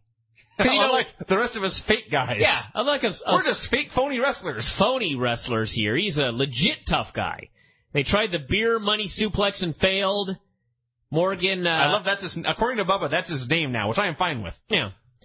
Bubba teased they'd bring some lighter fluid to the pay-per-view, which I'm not a fan of. And Storm tried to use a beer bottle, got thwarted. Abyss hit the black hole slam for the pin, and luckily didn't drop him onto the beer bottle. Uh, yes, which is still like, what is this thing TNA has just leaving random objects bouncing around the ring to fall on? I don't know. Paper bags, They don't know what they're doing. That's true. I will say that Bubba Ray on commentary was pretty awesome on this match throughout. He was very entertaining. He put over all three teams in the pay-per-view, talked about how tough they were, but damn it, we're the toughest and we're going to settle this on Sunday. So I thought, wow, that was a good job. Blonde interviewed LAX about the pay-per-view. They said they wanted revenge on beer money. This was 30 seconds long and edited. Edited. 30 second interview. Foley did an interview, and he is very great on the mic, and he did a hell of a job trying to build up the pay-per-view. And he basically said that um, he was going to call out each guy, Angle and Jarrett, and uh, going to let them say their piece. He said if anybody tried to run to the pay-per-view, he was going to deal with them quickly and harshly. I don't know why that made me laugh, but it did. So anyway, they both came out, and uh, Jeff said, TNA clearly made a mistake in hiring you, Kurt, but that was something I have to live with, and I want you to have something that belongs to you. You've earned this, so I'll see you in Chicago. And he gave him his medals. And it was Angle's turn, and he didn't say anything. And so Foley said, all right, well, uh, shake hands, fellers. And they shook hands, and I thought, that was awesome. And then it was almost over, but Angle grabbed the mic and said, hold on a minute. He said, you did the right thing and I appreciate that. And could I ask you for just one more favor? And Jarrett said, all right. And Kurt said, I want you to go home and I want you to tell your three little girls that I apologize. And then he paused and then he added, because daddy is not coming home after Bound for Glory. He's going to kill him apparently. Yes. Now, last week, Angle made fun of Jill Jarrett, who legitimately died of cancer. Right. This week, he threatened to kill Jeff Jarrett, which seems to be something that is said fairly regularly on a wrestling show. And this time, the announcers were appalled. Just appalled. I guess it's because now the children will be orphans. Oh. Is that what it is? But uh, yeah, uh, uh, What Yes. a son of a bitch, said Don. he did. He had, he had to censor Don West. yeah. which actually it came up again later, but we'll get to that. But uh, yes, l- last week Kurt Angle mocked Jeff Jarrett for letting his wife die, I guess. And this week, here was Jarrett and Angle face to face for the first time, speaking cordially and shaking hands. Sure. What? what was the point of him saying that then, other than to piss people off? I don't know. I, I don't have an answer for you. What bullshit? Borash interviewed Booker about whose side he thought Christian was going to be on. Always these in-depth questions from Borash. Booker, Booker, you're facing Angle tonight, and Christian's a guest referee. Whose side do you think he's going to be on? Mine! Booker announced. At least when Borash is in an interview, he always, he almost always gets an answer of some kind. When the blonde gets an interview, she usually doesn't get any que- any, any, any answers, and it's just a waste of Because time. she's a woman. Apparently. Watch Spin Cycle, everybody. You'll find out all- a lot about TNA and women. So anyway, they uh, then he said he was asked about the briefcase. He said the world would know when the time was right, and the time was coming. I have I really have no idea what he said here, but Booker T is awesome. Yes, He was he was just great being Booker T. Roxxi and Taylor Wilde against Awesome Kong and Raisha Saeed. Fun little match. Miscommunication with Taylor and Roxxi as always. And the whole idea was to point out that even though they should work together at the pay-per-view against Kong since they're both babyface as well, it's every woman for herself. Yes, they they had they are having this little match, and uh, the the announcers teased that later there would be a special clause put into the Samoa Joe Sting match. That was a tease, everyone. Stick around to see what special clause will be in Sting versus Samoa Joe. Mhm. So then they had this tag match, and they got got the heat, and the babyfaces made a comeback, and yes, as noted, Taylor Wilde accidentally kicked Roxxi in the head, and I thought to myself, okay, now Kong pin Roxxi, pins Roxxi, and we are all set. No, they kept wrestling.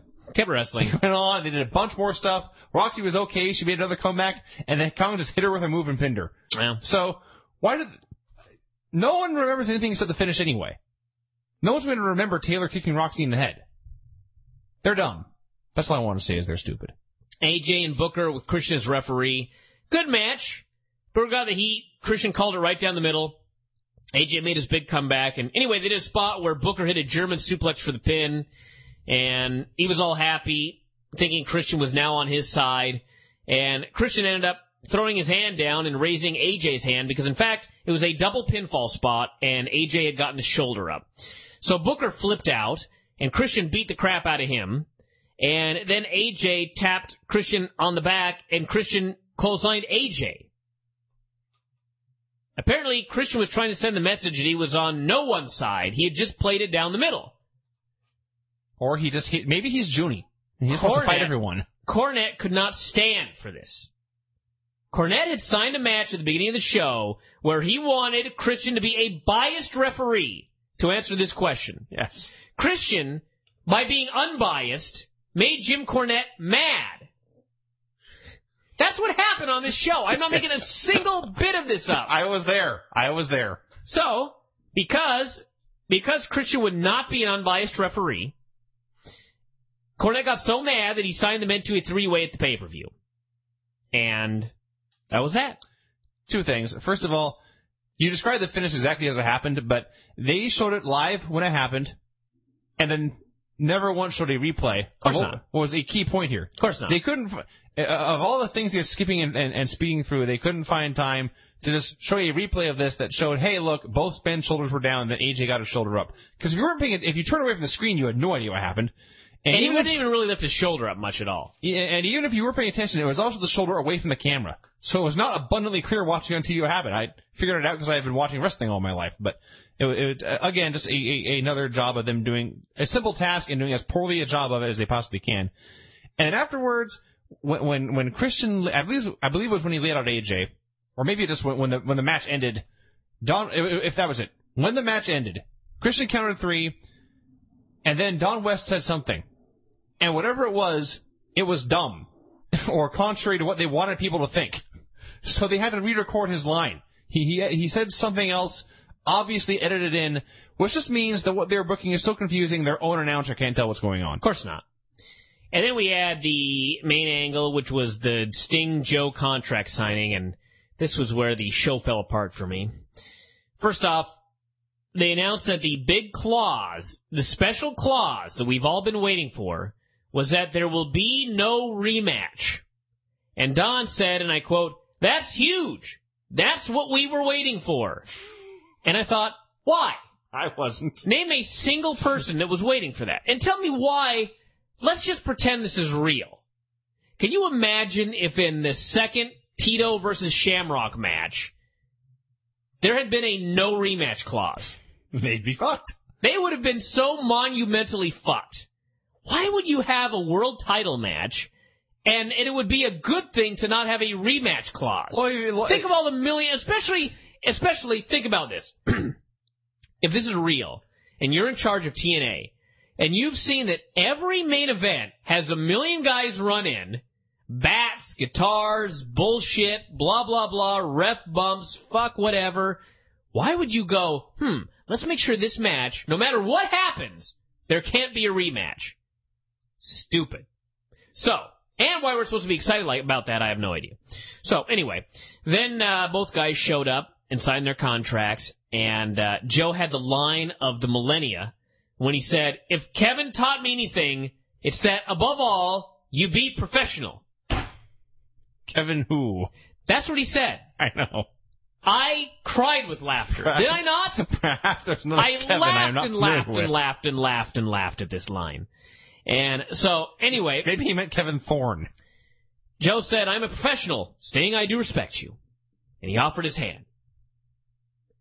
And Sting shook his hand, and Joe headbutted him.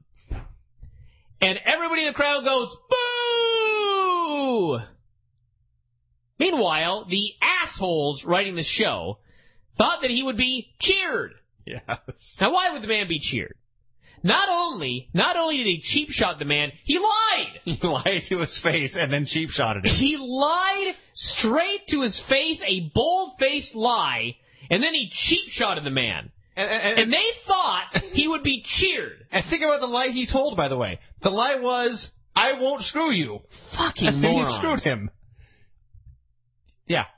Now, now, now, if they would have thought, okay, well, this will turn Joe heel, then I'd go, wow, you know, you did it right. Good job. No! They thought this, this will be a babyface move for Joe. I just don't understand am- how you could be this goddamn stupid. I am torn between them thinking of Joe babyface or if they want it to be shades of gray. No! They thought that Joe would be cheered for this act. How? I don't know. The best explanation I got was because Joe was getting revenge for Sting hitting him with the bat weeks ago. Are you telling me then that So we're supposed to remember. Sting's earlier promo where he said he was fighting for everyone who had ever been disrespected, that was a heel promo? Yeah, apparently. Here's Enough. Enough. I have a kind of related question. Looking back, does this mean that in fact Sting was handing mysterious black bats to everybody? Yes. Okay. That mystery has been solved. The mystery has been solved. Then they had a Sting Joe pull apart, and, and the show ended, and I thought, there's your go home show for Bound for Glory. No buys. No, none. Well, I can't say no buys. They did everything they could, but I still can't see all that many people caring about this show. To the back!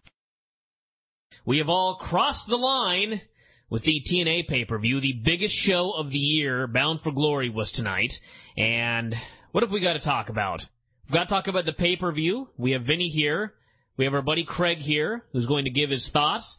And we're going to get Mike Coughlin on the line, who was at the show live in a luxury box drinking alcohol. So he should have a a very promising review of the show. And there was plenty of alcohol to be had by uh, myself and Vinny tonight as well. So it was a good show. It was a good show. Yeah, I had like a dozen shots, I think, of tequila and whiskey. He Oh, had three. Craig is indicating three, but I'm sure it was at least a dozen. Yeah, it helped the show. It certainly did. Um, the, the show as a whole, to, to sum it up, there was nothing was bad on it, but it was like one of those old old ROH pay per views where it's just such a breakneck, it's such a breakneck pace throughout that you're just exhausted. And then by the end, it was the old school TNA pay per views where it was a really great main event with some garbage at the end. The Kip James match was bad. That's true. That was a bad match. The rest of the show, there was some good stuff. The opener was really good. The Jarrett Angle match was good. The main event was good, although it had a wacky finish. They they uh, saved the Kevin Nash swerve till this show. They couldn't just do it when it made the most sense last month. They had to swerve us on the swerve and then give it to us this month, which is fine. Angle or Nash turned on uh, Joe, hit him with a baseball bat, and Sting ended up getting the win. And of course, the way they set it up was Sting was going to use the bat himself to win, Mm-hmm. but Nash had to take the belt or the bat away from him Right? because, you know, it had to be a swerve. Mm-hmm. Yes. He didn't just let the guy use the bat. No. He took the bat away, I guess, so that Sting might lose, but then he hit Joe with the bat anyway, and then we had the finish. Right. Wacky. Yeah, because if you were if you were Kevin Nash and you wanted Samoa Joe to lose, you would have just let Sting hit him with a bat. But in in TNA world, there always has to be a swerve. Was there any shock to this swerve whatsoever? All I know is that Sting grabbed the bat and then Nash grabbed it away from him, and the crowd booed. And to this moment, I still don't know which guy they were booing. Were they booing Sting for grabbing the bat or Nash for taking it away? I think they were booing Nash for taking the bat away because everybody loved Sting. Now, Sting was supposed to be the heel. This is what I can tell you. Sting was supposed to be the heel, but he got cheered, and he worked as the face, and Joe worked as a heel. and Joe worked him over and was a cocky prick and mocking all his moves. And yes, Joe was a bully here, which is rare for a babyface. Now, now, now, although it was a swerve, it actually does make sense. Why would Nash, the old guy, be on Joe's side? Nash should be on the side of the old veterans. Fair. That makes sense.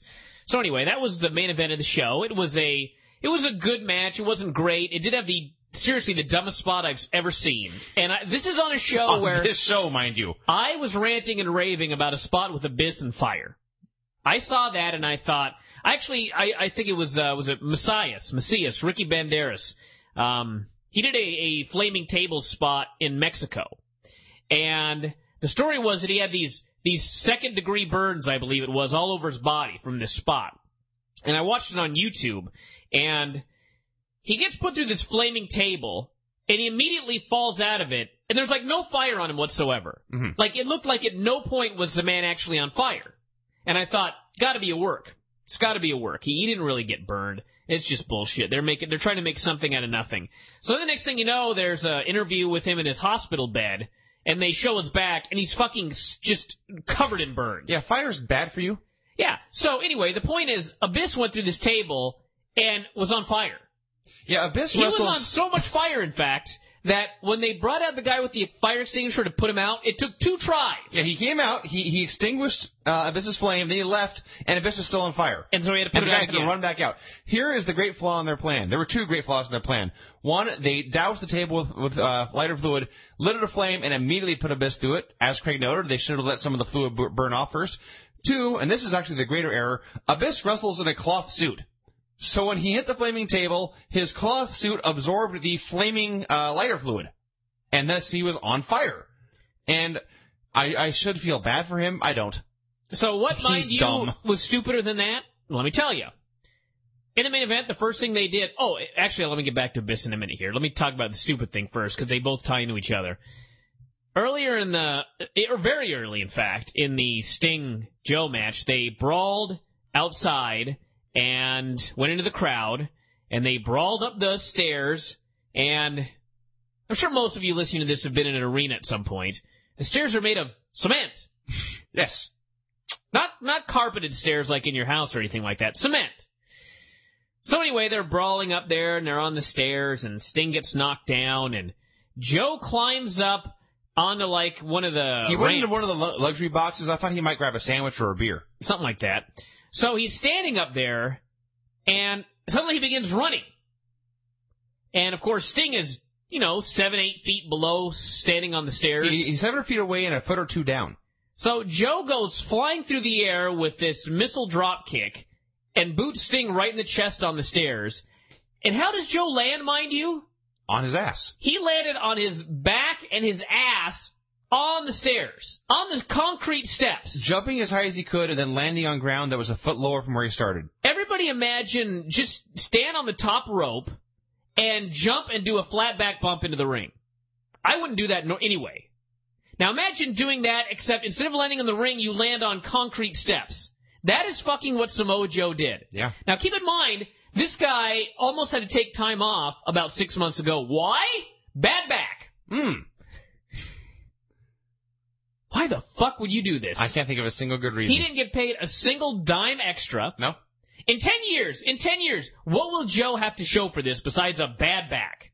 Well, nothing. He made no extra money. no. He will make no extra money in the future. Nor will there be any added notoriety. And, and, to top it all off, in both the Abyss match and the Joe match, the Joe match was even stupider. Because the Abyss match, at least that spot came about three quarters of the way into the into the match. True. And This came in the first quarter of the match. the, the Abyss spot occurred three quarters of the way through the match, and we never saw Abyss again. So it had some impact. Joe It hit did? this. Abyss was never seen again. Well, I know they just kept wrestling though. Well, at, No le- at was least even- it achieved the fact of eliminating Abyss in the match. Joe hit this dumb move and then just got up and kept wrestling. But I mean, in both cases, the match just kept going, That is true. and nobody cared. that is also I don't true. think the announcers asked a single time, "Gee, I hope Abyss is okay." Nope, nope. Nope. He he got burnt to a fucking crisp.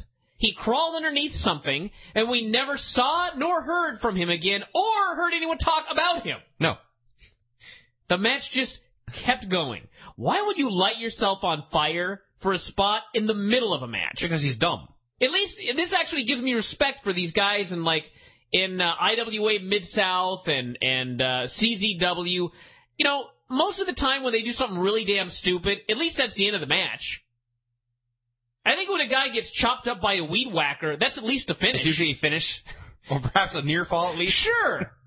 this guy got lit on fire, and the match just kept going without him. Yes. Guys just kept doing moves. Right. Proceeded to grapple, that's true. Retarded. And uh, neither of these moves, by the way, was there a single replay. No, there was a replay of the fire. There are a bunch of replays of the fire. I see. Yeah. I was, I had some shots. And I think there were several replays of the uh, drop kick as well.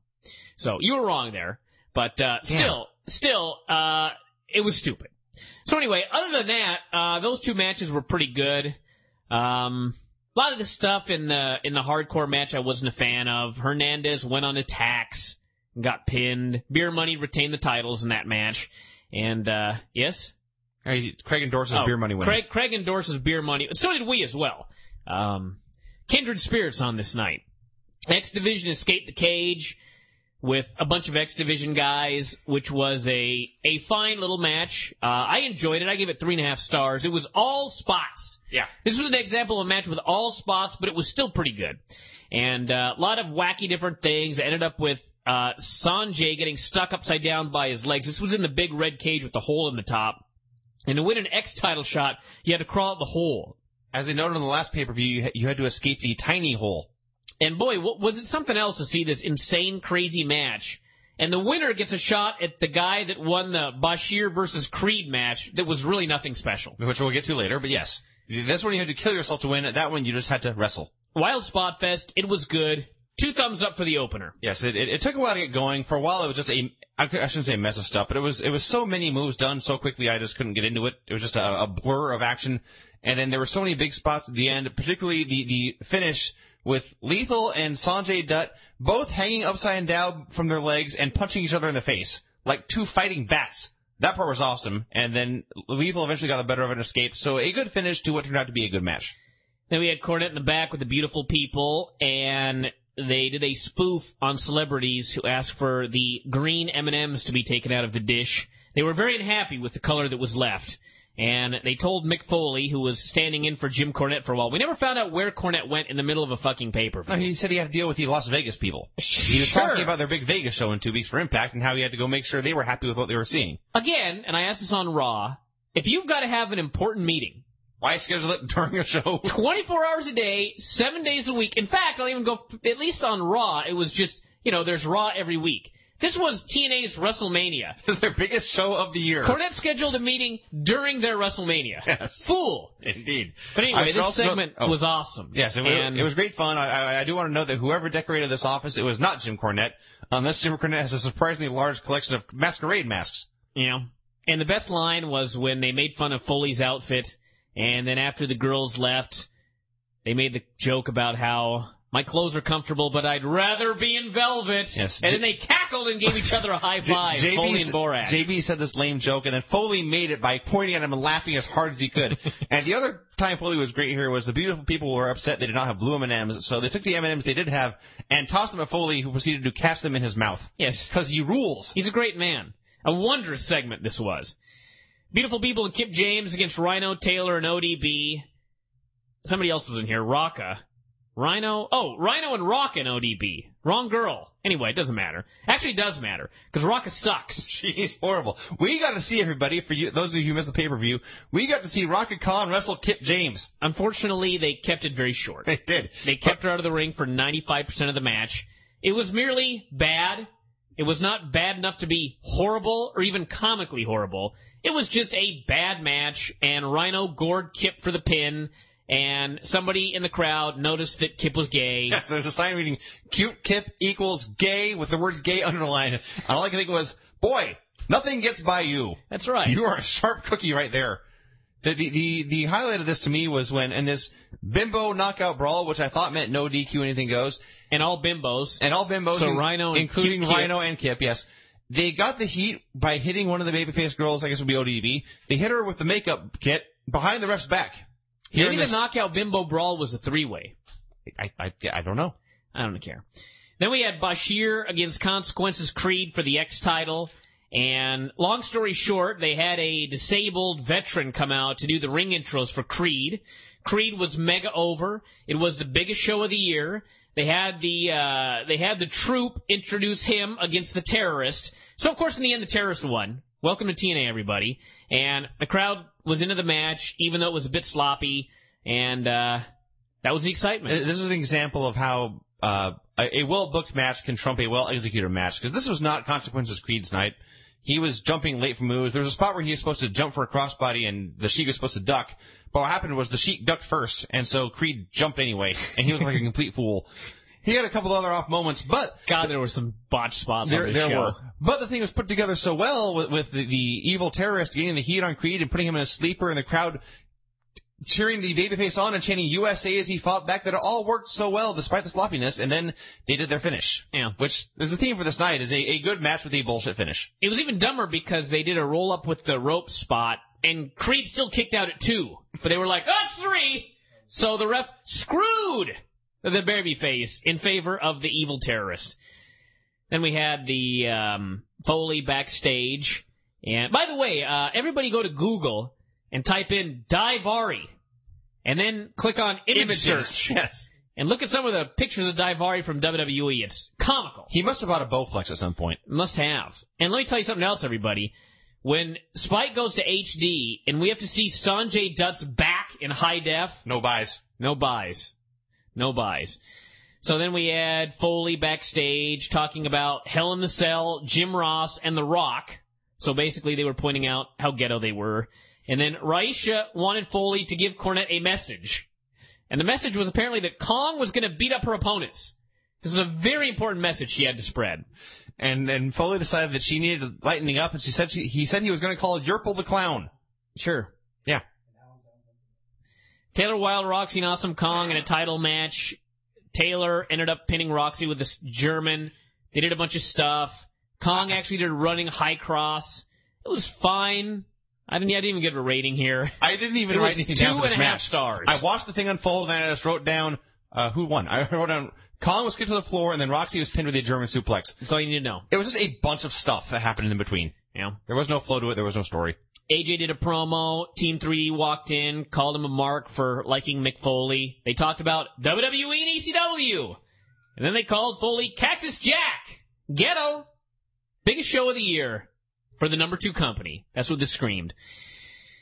Then we had uh, Cornette finally returning, and Foley told him nothing happened when he was gone, and Cornette was happy. That was that. Monsters Ball, we talked about this. Steve McMichael was the guest referee. Let me tell you something about Steve McMichael. First off, enormous. I thought it was Tom Likas at first. I thought it was the Michelin Man, a, a giant, a giant.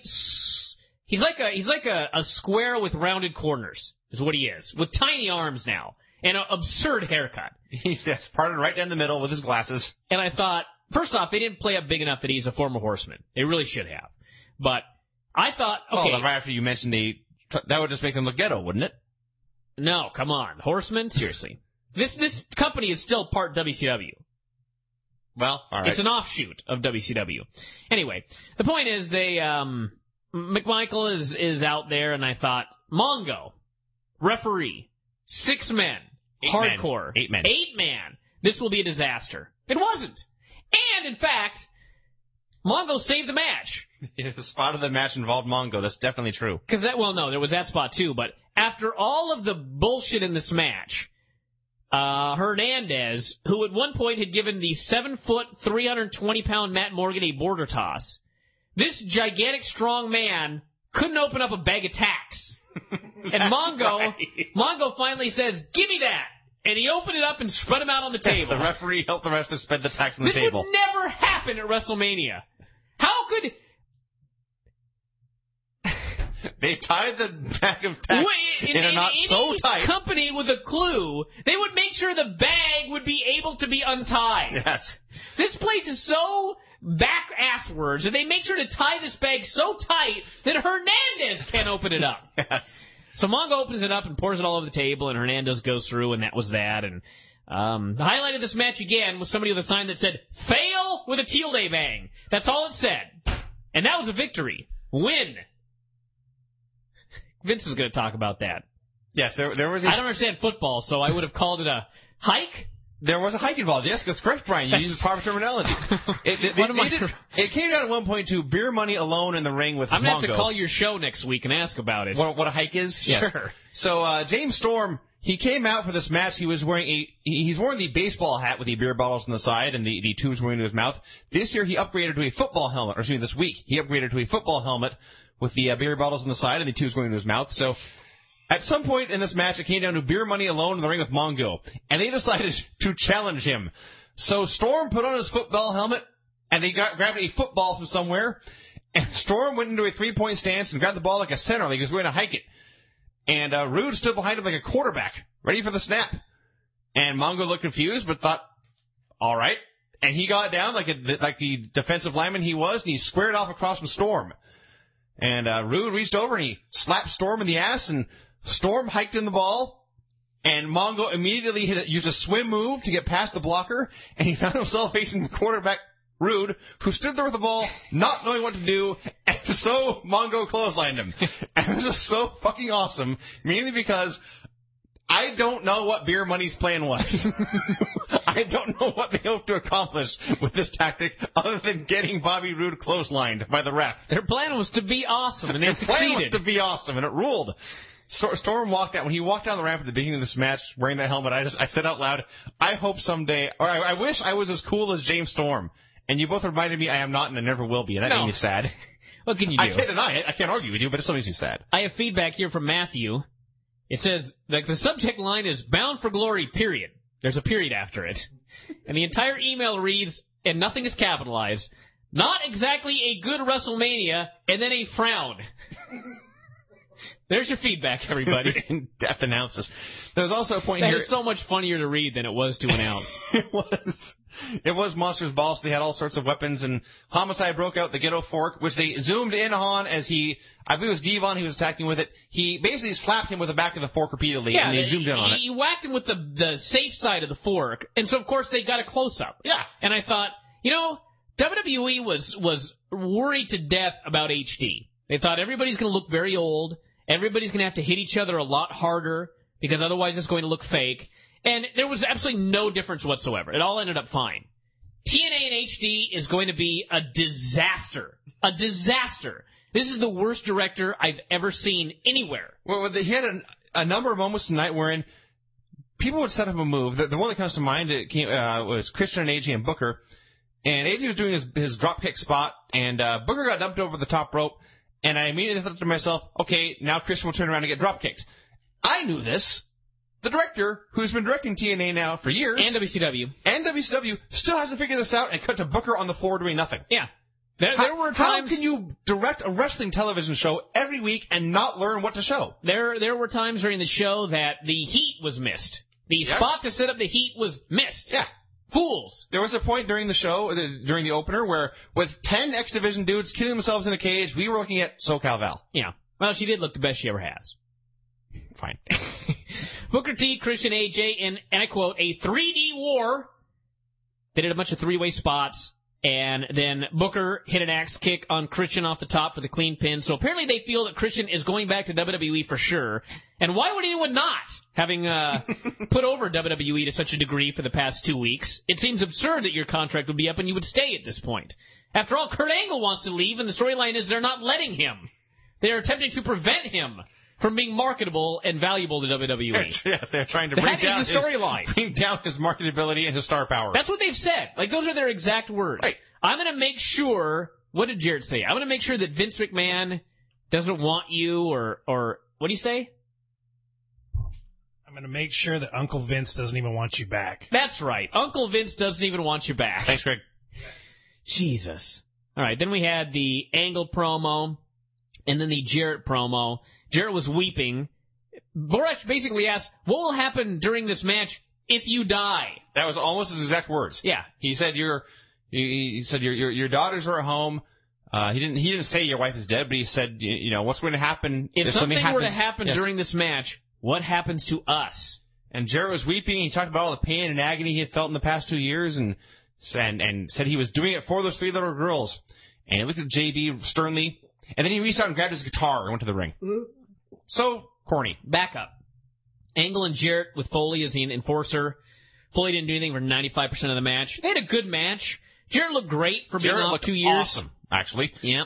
I, I, I, he looked so good that I hope he wrestles on every pay-per-view. Yeah. I'm saying that right now, everybody. We'll see what happens in three months when he's still hitting dudes with the guitars and there's 100 ref bumps. But for this match, it was very good. And um, the finish made me irate. Um, and it wasn't actually for the actual finish. It was it was Foley. Angle went outside to get a chair, and Foley tried to stop him. So Angle swung this chair like a fucking baseball bat and just walloped him right in the side of the head. Mick Brutal. Foley, everyone. Yes, once again taking brutal chair shots to the side of the head. Then he got in the ring and did the exact same thing to Jarrett, who also didn't block it. Now, I realize it's the biggest show of the year, and and I guess in some ways you can't fault these guys because they are old fuckers who've been in this business forever, and this is how it used to be. But it's 2008. Every single person watching this knows it's fake. you're not going to convince anybody it's real by getting hit in the head as hard as possible.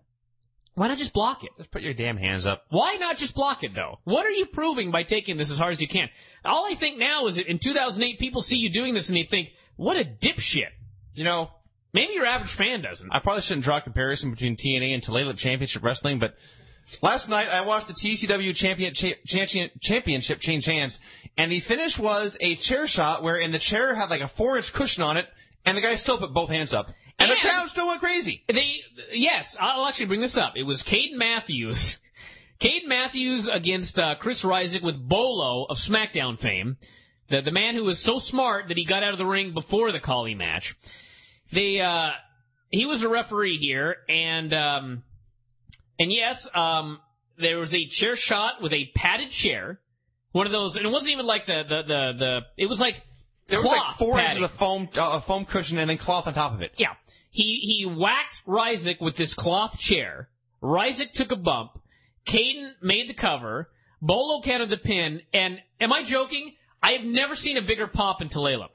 No, Not even when Eugene came out. no, people This was a this. bigger pop than when Eugene came out. I've been to every show. I've worked every show. When Caden got the pin, everybody stood up and they raised their hands in the air and they cheered and they went like this. A padded fucking chair shot with the guy putting his hands up. Both hands. Yeah. And here's And here's a fucking Foley and baseball. Jarrett taking chairs right to the side of the head, like swung like uh, Ryan Howard, and and just suffering perhaps severe brain damage for nothing. for nothing, literally for nothing. So anyway, that was that match, and and uh, it was it was the old school. Like I say, this is what TNA was for years. A really really great main event with a really really stupid finish that made made you feel angry. You wasted your time getting emotionally invested in it. And for most of this match, it was actual wrestling as opposed to the stunt show we had seen for the prior two hours. It was guys working submissions and selling them and selling pain and selling uh uh uh exhaustion and fighting through it and making big comebacks and it was awesome. And they did their wacky screw job finish they always do as they did in both of their main events on the show. Craig, do you have any comments here? Now that we've we've recapped all the matches, what you thought of the show in general? The show was fine. Um, I was, uh, Put your mouth right by that. I'm sorry. There you go. wow. Anyway, uh, the show was fine. It, um, the, the Jarrett and, uh, um, um, All right, enough out of you. Here's yeah, my no, question. no, no, it was good. It was a All right. good, that match was really good. Jarrett and, uh, Angle. Angle, thank you. And, uh, the, uh, Sting and Joe match infuriated me because I didn't know who was babyface and who was a heel. No one does. and it made absolutely zero sense. Joe might be the stupidest man in wrestling, um, but the rest of the show was good. Now you came over for this. I know. I, I walked in a Hold minute or two. hold on, hold on, let me say one thing first. Okay, I went to a seminar today, and I was I was gone from noon to three, and I came out to my car at three. I had four missed calls and a voicemail, Were they from me? and I thought, who the fuck called me four times? And I look at the screen, and it's Craig. And no offense, Craig. All right, this has nothing to do with your weight, but after seeing four calls from you and a voicemail, I thought, I hope something bad didn't happen.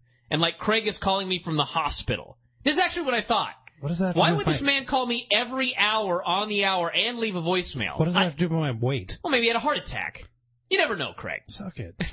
I'm just, this was my thought. I was, I was horrified because I was like, why would Craig call me four times? So wait. Or maybe you, maybe you got a fender bender. Or You maybe thought that thing Craig on the bottom had a of your heart attack, car. and he, while having a heart attack, called you. well, maybe you know he was fine. Maybe it was a scare. I wanted to see TNA's answer to WrestleMania. But That's hold on, why. I'm not done yet.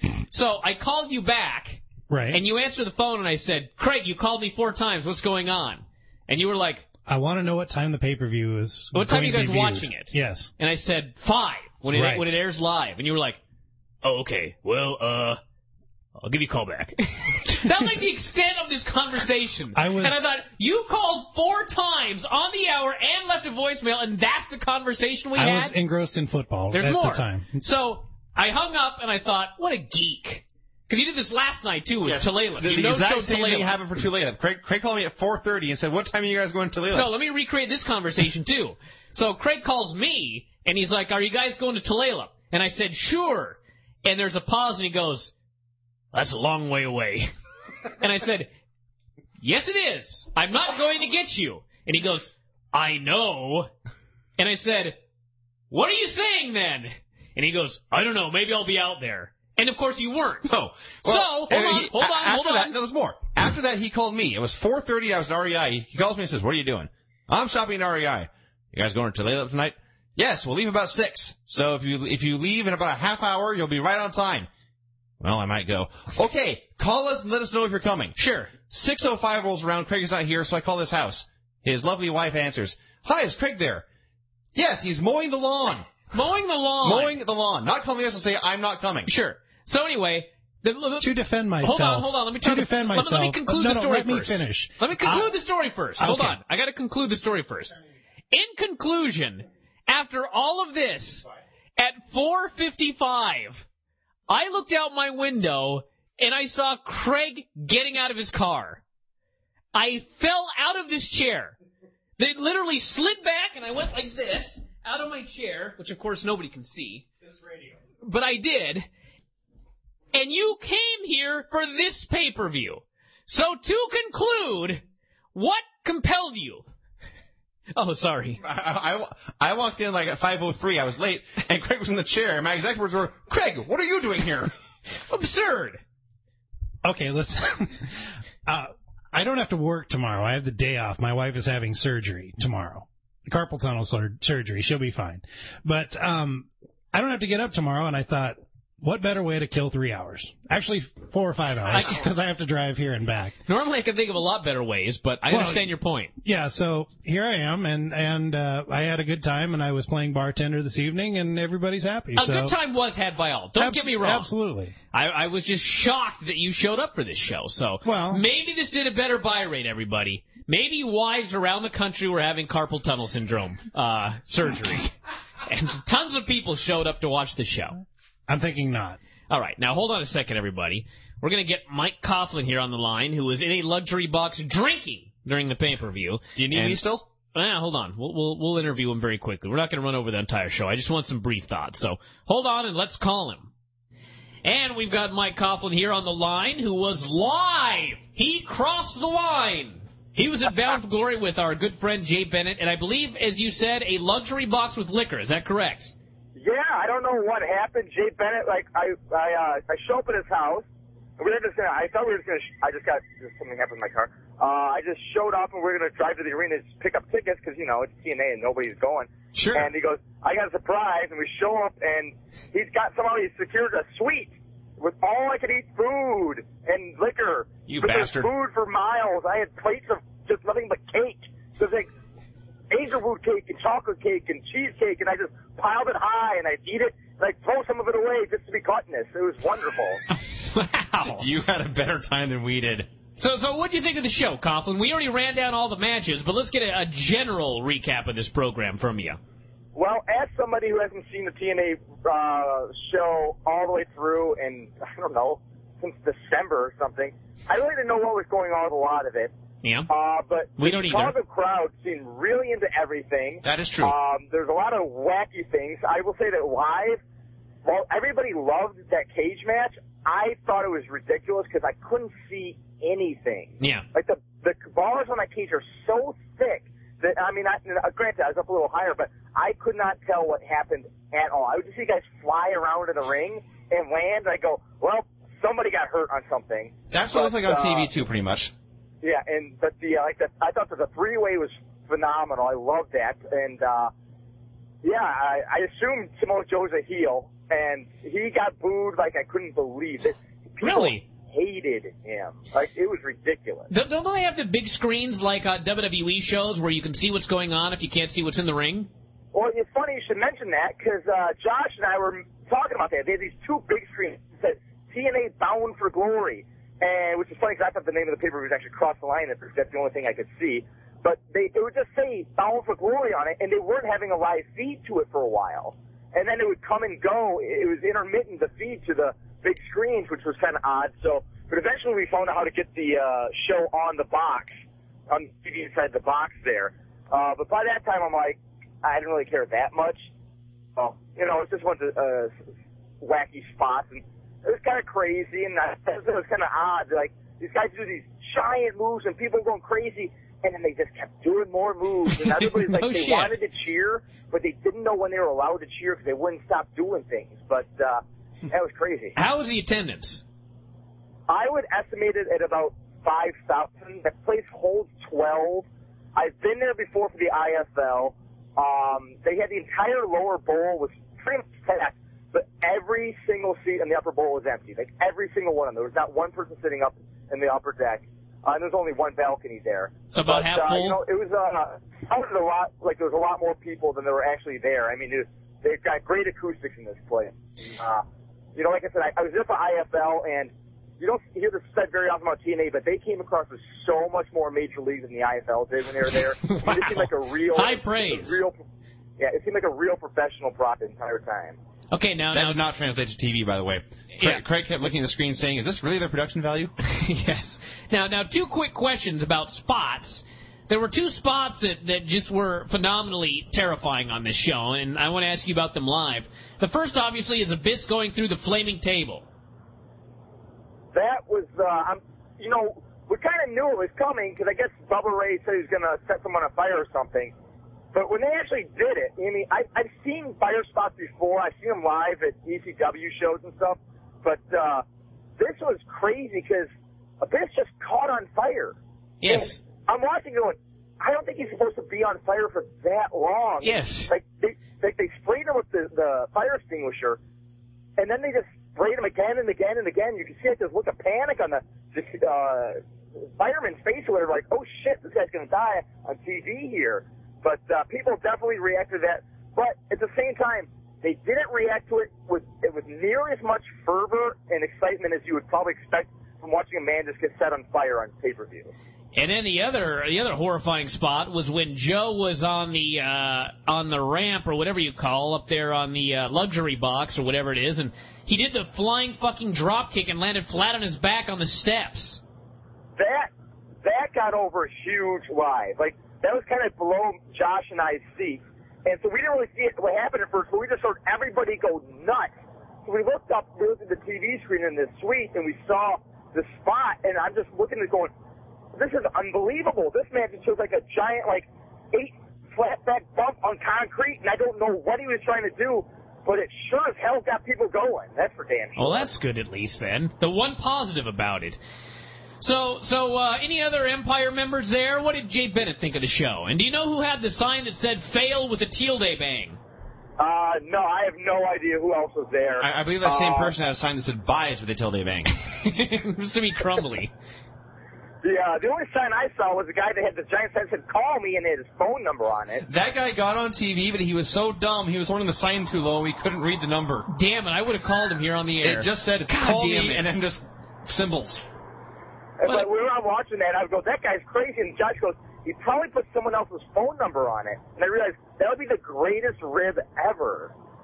Well, who did that? Somebody did that to uh, Al Snow's phone. Or Al, Al Snow did it to, was it Bob Holly? Al Snow had, if if you've seen My Dog Pepper, call this number, and it was, oh, it was Val Venis. It was Val Venis' cell phone number. You know, Crumbly actually sent me an email when I was gone and said, "Call me before such and such a time if you want me on the show tonight." And I didn't have time to respond in time. Maybe that was him and his number. Could Yeah, be. It could have been. What a But, great uh, show. I mean, overall, I mean, it was, a, it was a really entertaining show. I felt from like top to bottom. I mean, again, I say this to somebody that doesn't watch TNA. Uh, I haven't watched an entire episode of Raw all the way through in months. I mean, I watched and I fast forward through this and that. But uh, I mean, I liked what I saw. There was a lot of variety of stuff. Um, I thought it was telling that it seemed like the matches people enjoyed the most were the straight wrestling matches involved like one or two or maybe three people. Amazing. These multi-man schmazzes just didn't seem to really do that for too, too many people. so overall, a, a thumbs up. Yeah, I mean, I enjoyed it, and I, and I, I admit I was drunk for the first half of the show, so that kind of helps a lot. But uh, I sobered up for the rest of it, and when I was sober, it was really enjoyable also. So, thumbs up to TNA. Well, Mike, I want to thank you for doing the show today. I really appreciate it. I'm glad you had a good time. Yeah, me too. It's uh, wow, really crazy night there. I was in a suite watching TNA, and uh, the best part is I, Josh and I think we figured out that TNA doesn't get any money off the suites because they're sponsored by somebody else. So. Pl- plug your show real quick before we let you go. Oh yeah, Five Star Radio. You know that uh, MMA show where uh, I, I will have a show up this week previewing uh, the UFC uh, was it 89 from uh, England, headlined by uh, Bisping versus Chris Leben, with the undercard match of Brandon Vera versus Keith Jardine, which looks like a decent little show for free on Spike TV. So I will have a, a big old preview of that in the next few days. All right. Well, thanks again for doing the show, and I will keep in touch. All right, Bryan. I'll talk to you guys later. All right. See ya. All right, bye. Well, how about that? A positive live review. Everyone loved the show. Vinny, Craig, any final thoughts before we wrap it up here with you two? Uh, two thumbs up for Bound for Glory, believe it or not. Craig? No Mercy was way better. well, that's undoubtedly true, but that's fine. What can you do? We were there live for that one, so. To the back! Let's talk about Impact and get the show over with. Boy, did this show suck, everyone. no, seriously. The show didn't make me mad in like the normal way that the show. Well, there were a couple of things that made me really mad, like um, this this big announcement that Mick Foley was was uh, quitting. You know, after three weeks, he was retiring. It is explanation for it, by the way. But uh, what really pissed me off about this show was it's like it's like those old. Remember we would watch like Raw and people would say there were 29 minutes of, of wrestling or 19 minutes of wrestling in this two-hour show. No way we got 19 minutes of wrestling on this Impact. There were two matches in the entire first hour, and I'm sure one went about three minutes, and the other I think went about two or three minutes. That's six minutes in the first hour. And uh, Matt Morgan match was a little bit longer, but if we if we hit 19 minutes on the show, I would be stunned. So if anybody has the uh, I, I, I would actually take the over on that bet, but not by much. There was there was for certain more wrestling. There may have been more wrestling in the Chavo and Evan Bourne match than on Impact, and there for certain was more wrestling on ECW in their two matches than in the five we got on Impact or whatever it was. bad, And it's not like the was the, the, the time was filled with great comedy or dramatic skits or, or fantastic video packages. No, it was filled with the usual crap. I said that uh, Foley would be saying goodbye later. Didn't explain why.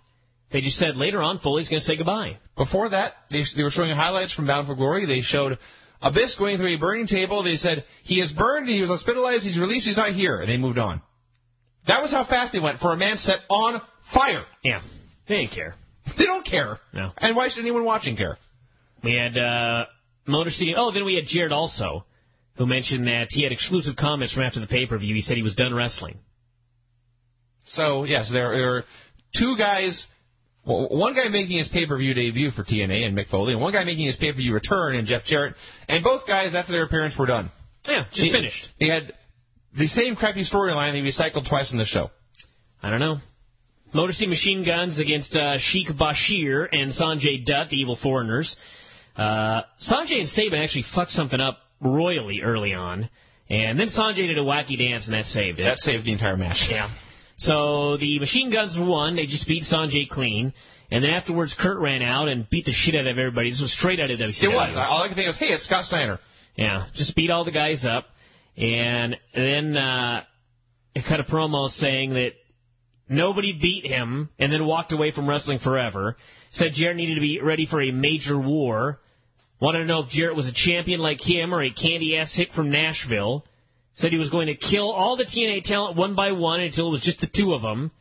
And then said he would get back in the ring, but until he did, all the bloodshed would be on his hands. Yeah. And his promo for sure went as long as the match did. So there you go. Yes, that, so that, that's the key. Uh, there was a, there was a quick match. It may have been fun, but it doesn't matter because Kurt Angle killed all four men. Yes. Yeehaw.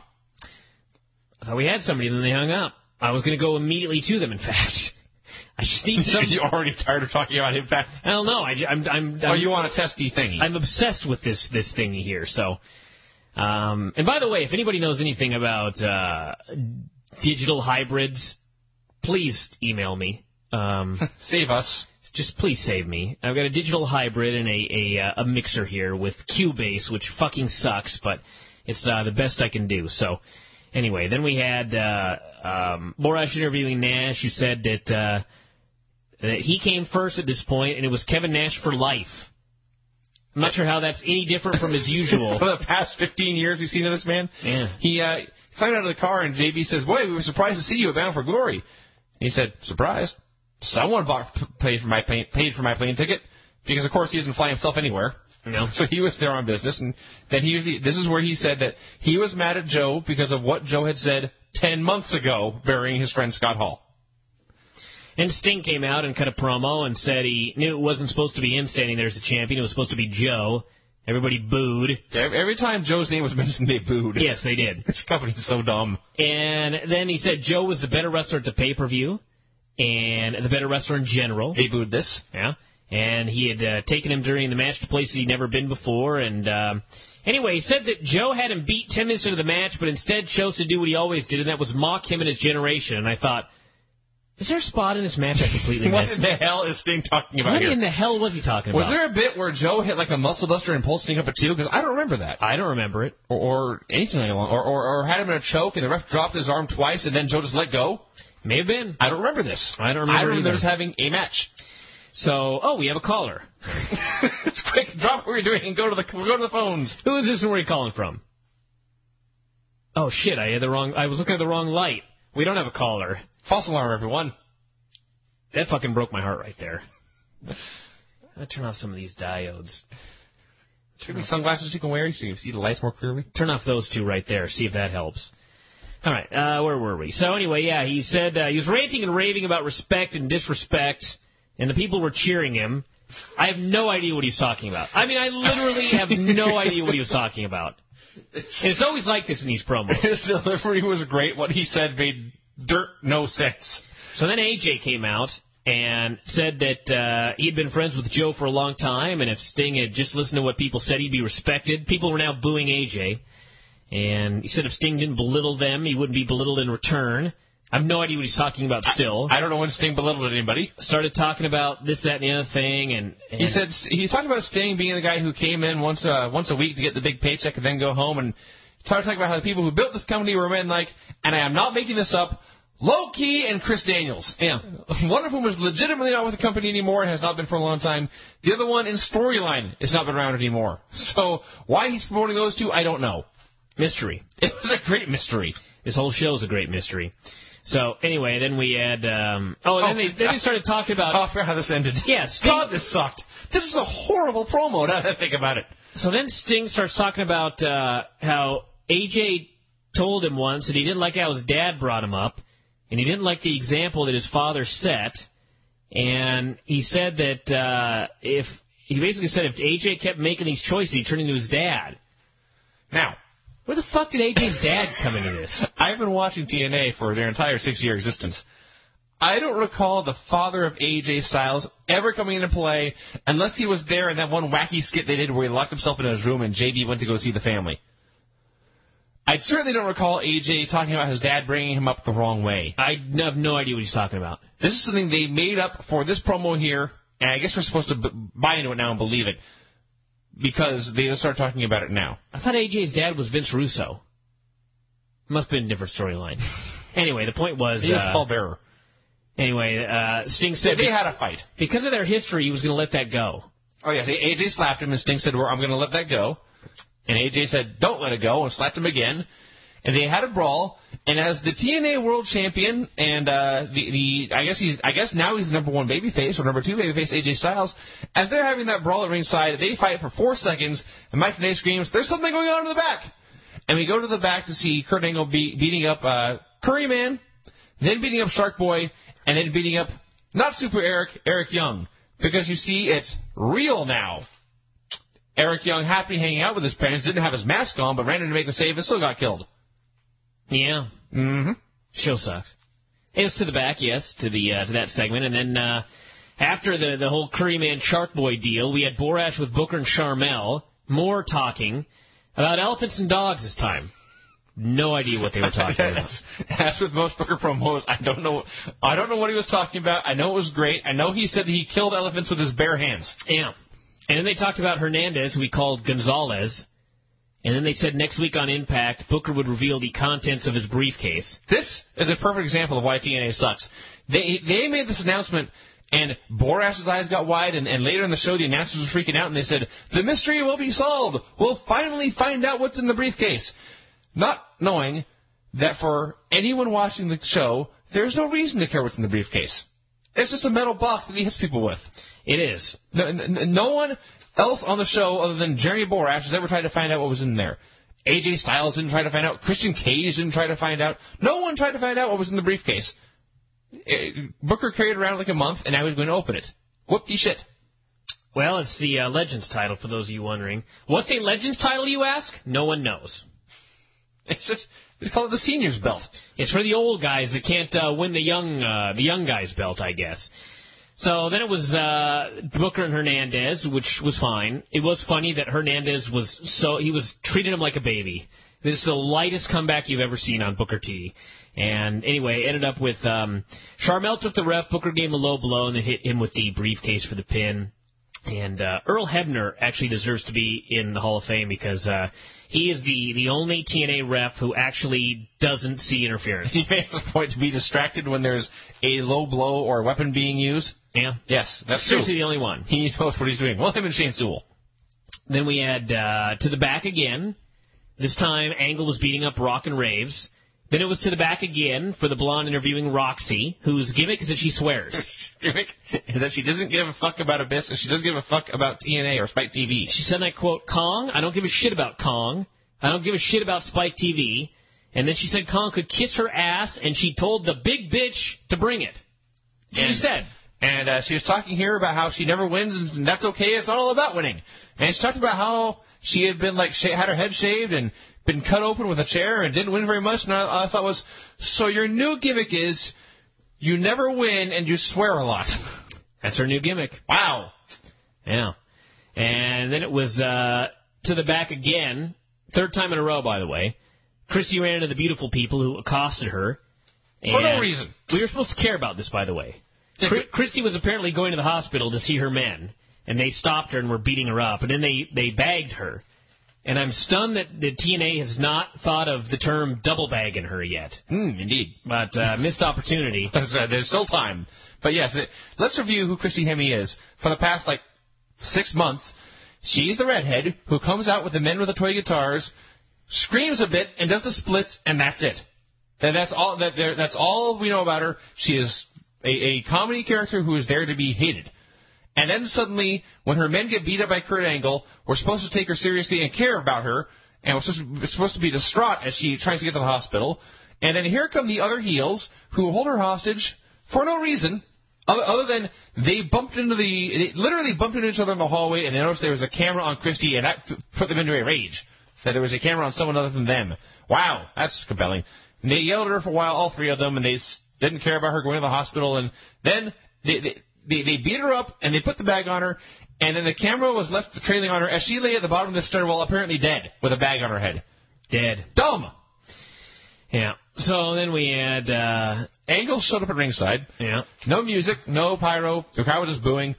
And Mike Tenay said the following words: "There's a bad vibe in the impact zone." I what thought- some fucking wrestling. That's true. There is a bad vibe in this show. He beat up Penzer, who we're supposed to be concerned about. He took the worst bump I ever saw. Yeah. His bump was so bad. I understand he's just a ring announcer; he's not trained. But his bump was so bad that when Kurt took off Penzer's shoe and started hitting him with it, I was like, "Yes, hit him harder, kill this fucker." Hit him with a shoe, and then it cut a promo, and Super Jarrett came out. Yes. Now keep in mind, at this point, Kurt Angle had beat up all four guys in the opening tag match, all three guys in the Prince Justice Brotherhood, the Rock and Raven faction by himself, now the announcer, and now he's, or the ring announcer, and he was fighting off security and all the referees. But out comes Super Jarrett to save the day. Let it go, Kurt, he said. Let it go. And Angle said he couldn't let it go, and it led to Angle saying, remember a while ago when I first signed with TNA and you invited me to your house and, you know, I, I ate with you and your wife and children? He said maybe Uncle Kurt should go back and pay him another visit. And so Jarrett went to beat him up and Angle cackled that he had got under his skin and I just thought, um, isn't this like a threat? A, a, a threat on children on national television? Yeah. it was, you know, Shouldn't you just call the cops, buddy? between that and, and, and, and the open cursing, for the second time in the show, they were cursing each other in the segment. I thought to myself, remember the at the pay per view when you talked about the chair shot and you said, no matter how hard you hit a guy with a chair, you're not going to convince anyone it's real. Yeah. No matter how loud you swear at someone in the middle of the ring, you're not going to convince anyone it's real. No. You know, no one's calling, Vince. This is what I you do. You want me to go get a phone? Go, go in the other room, shut right. this door, and, and call him. We'll, we'll do part of this with I you will on do the the next segment from the couch. All right. Well, you don't need him anymore. Yeah, I did. All right, Vinny's going to go into the other room. If you guys could only hear how loud this fucker is when he's when he's doing this show, just yells and screams like a madman. Hopefully he calls here pretty soon. Next segment is going to be the uh, what do we have? Oh, we just talked about uh, Super Jarrett and his, his insanity. So that was that. And oh, here's supposed to be Vinny. Vince, is that you? Oh, I can't hear you. What the hell did I do? Oh, I pushed the wrong button. Meet you, idiot. There we go. What's up? Hi. Hey. What's going on? Well, we're going to do this segment here and, and uh, see how horrible it sounds. I should have start driving home. You may as well. I, I can already hear some horrible feedback right now. It's it's hilarious. Great. All right, well let's um. And you're very quiet. Should I shout more? No, I think it's a problem on my end, Probably. as, as it usually is. All right, Vinny. What? Uh, let's talk about the Foley segment here. All right. Um. Hold on a minute. Hey, hey. Uh, t- talk about the Foley segment. I'm gonna fuck around with this stuff. So Mick Foley came out. He walked out, and the, the announcers noted this is his goodbye segment. And he talked about how, because of the type of career he had had, the wild, out of control wrestling he had done, the hardcore action, and the falls he had taken, people were under the impression that he loves pain. He loves pain. Yeah.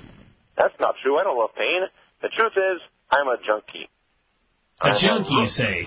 A junkie. Yeah. And he got a big smile and he said, I'm a roller coaster junkie. And he said the world is his theme park.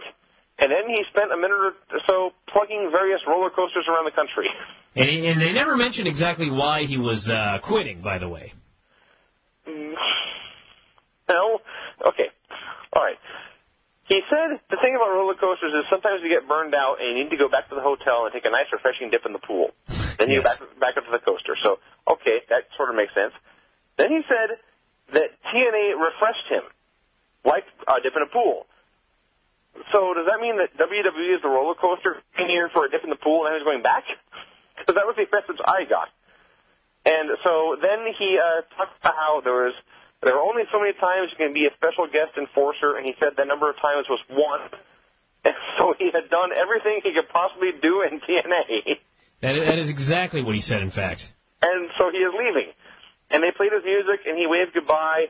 And Mike Tenay, with like a, a tear in his in his eye and a, a crack in his voice, started talking about how great it was to see him again and what he had done for everyone. And then he started to walk up the ramp, and here's like Jay Lethal out to shake his hand and give him a hug, and constantly Creed is there to give him a handshake and hug. And I like to think they should have had this entire segment. They should have been playing that uh, "Leave the Memories Alone" song they had for Ric Flair at WrestleMania. Yes, exactly. Well, I mean, this is what this was supposed to be. Was was uh, the big retirement ceremony? For all the great times they've had over the last three weeks, Exactly. Yeah. this company is stupid. I, I just love that. I mean, I was sitting there waiting for an explanation, and the explanation was apparently that you can only be a guest referee one time. yes, once in your life, and his was up. He has the greatest ac- acquisition. You know, it's funny. We were talking about this on the Dave show, and and I was trying to ask Dave, you know, what what what? Uh, I mean, explain this to me, and and he didn't have an explanation, and No, no uh, one does. and, and then I watched it and was like, this is actually worse watching it than it was reading about it in the spoilers. It was a horrible, horrible thing. I, I can't say on, a list of horrible things on the show, I don't think it was that high, but it was just so dumb. It, was- it was horrible in the sense that it was devoid of quality. I wasn't angered by it. I was amused at how useless it was. And then the best part was after he uh, met with Jarrett on the top of the ramp, they went back to Tenay, and uh, and Tenay's like, oh, man, you know, Jarrett Jarrett's going to talk him into staying or this and that, and and it was like, okay, so y- you first off, you you, you had the the wacky uh, the, the retirement after three weeks, and then you've already done the potential comeback in the same segment. yeah. I mean, they couldn't even wait till the end of the show. They had to do it in the same segment. Yeah. This was bad. They have no clue what they're doing. No, they don't. Literally, they don't know what they're doing. All right, Vinny, you're, you're, you're excused now. Come back on in here, and, and we'll see how this sounds. Thanks, boss. All right, bye. That's right, boss, everybody. I've just cranked everything up as high as it goes, and we're gonna see uh, we're gonna see how this sounds here. So let me get Vinny back, and uh, hold on, everybody. All right, Vinny, listen to this. Well, everybody, I listened to it. It was awful. You know, before, There is some heavy, heavy clipping. before it sounded like you were doing the show in an aluminum shed. You know what's funny is I, I did the call-in show today, and it like sounded great through all the calls. And then I called Lance, and for like the first eight minutes it sounded perfect. And then all of a sudden I didn't touch a goddamn thing, and it just went off a cliff. I have no earthly idea why. Maybe his voice, something in his voice. Maybe it's Canadians? Maybe it's a it's a special tone. Oh, I didn't turn you back up.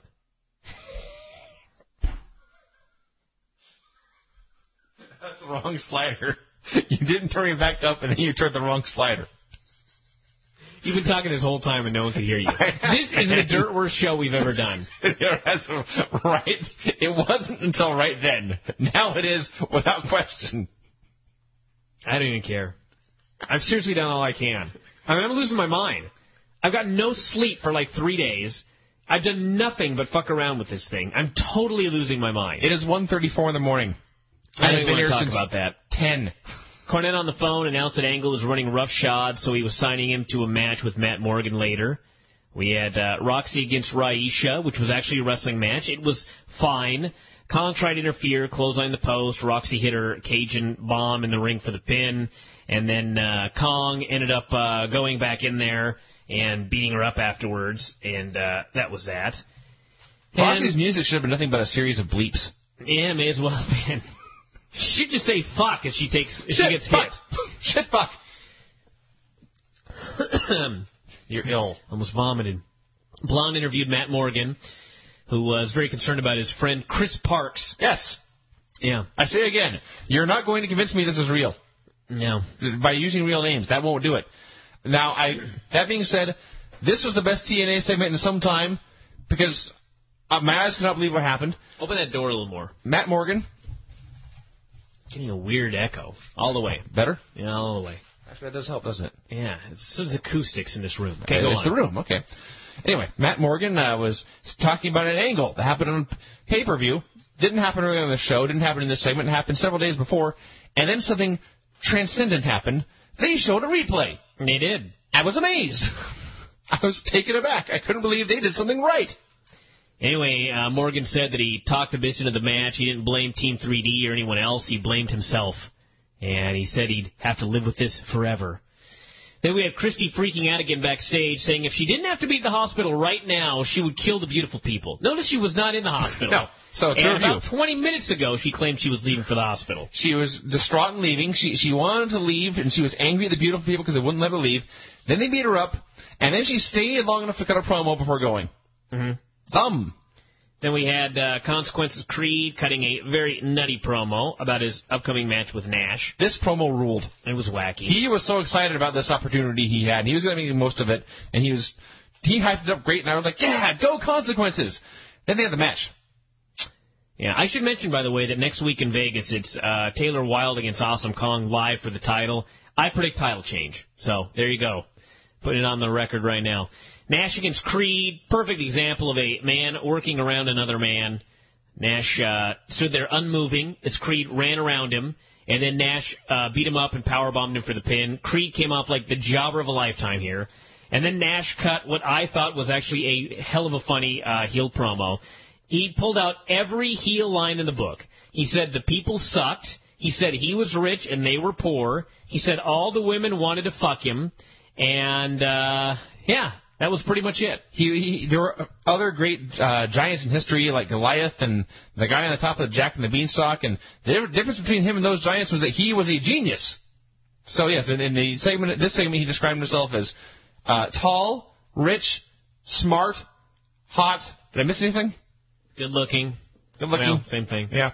And uh, and uh, all the young guys are arrogant and stupid. Yeah. And he's getting revenge for what Joe said about Scott Hall ten months ago. Now, why did not only why did he wait ten months, but Joe's been champion for a long time.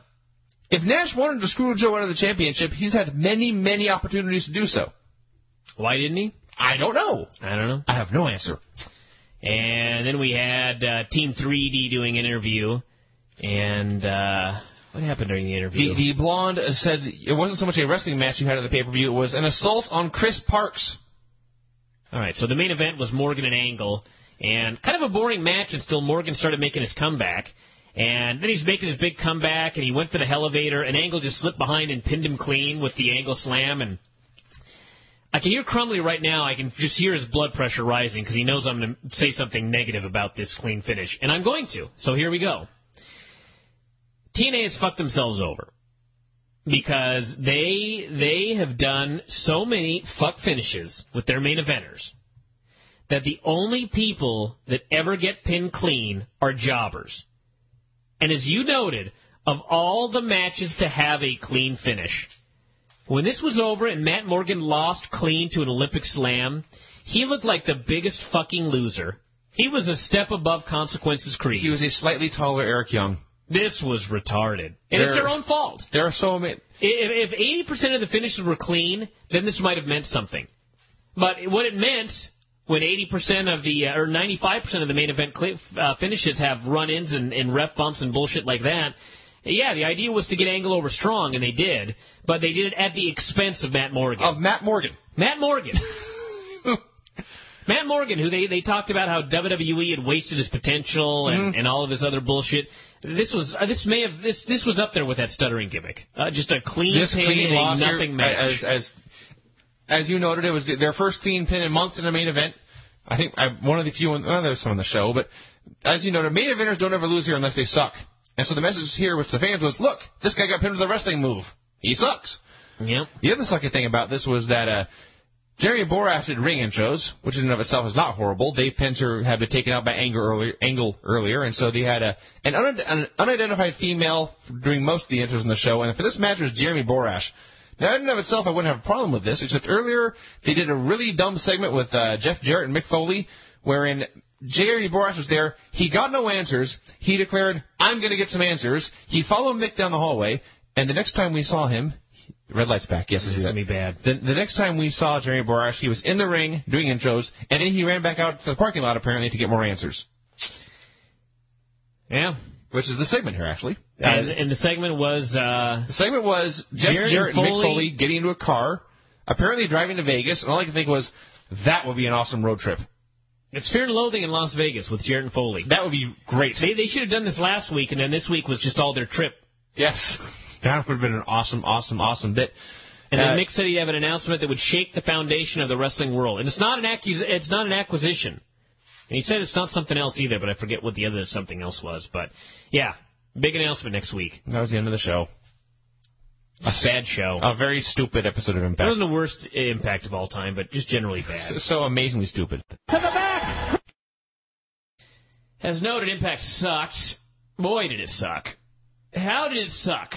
How how how how profoundly did it suck?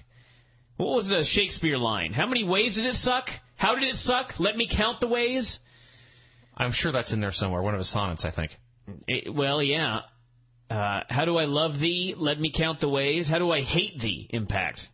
Let me count the ways. There are many. The production sucked. Dear God, yes. There was two minutes of wrestling in the first 52 minutes of the show. There was one good match. The main event was a disaster. The gauntlet match was an even bigger disaster. The big announcement was stupid. There was a lot of people talking about stuff that I don't even understand what the hell they were saying. Bad show. Not the worst impact ever, but it was actually made significantly worse by the fact that it was such a big show and it was this bad. Yeah. A, a, higher standard, a, a, a need for a bigger show, and boy, did they, they drop the ball. Now, if you were going live, you're in Las Vegas, it's live, it's the uh, first Impact in HD, new building, you're in Vegas. Why would you open the show with Christy Hemme and Velvet Sky? Were we not just talking about openers a couple days ago? We were about how you want to have either the top stars or some good action. This was neither. Velvet Sky and Christy Hemme. That seriously opened up the show. Right. The, uh, the the first live impact, the first HD impact, the big show from Las Vegas for the biggest announcement ever opened with Christy Hemme wrestling Velvet Sky. It was horrible. Christy fucked up a monkey flip. Uh, what else do we have? Um, the fire crotch leg drop was a finisher, which looks like it sucks. And Kip took a funny bump off the apron. and uh, that was our match. Cute Kip was the only redeeming factor about this. Think about actually, well, yeah, well, no, the entrance. Well, and, and their asses, yes.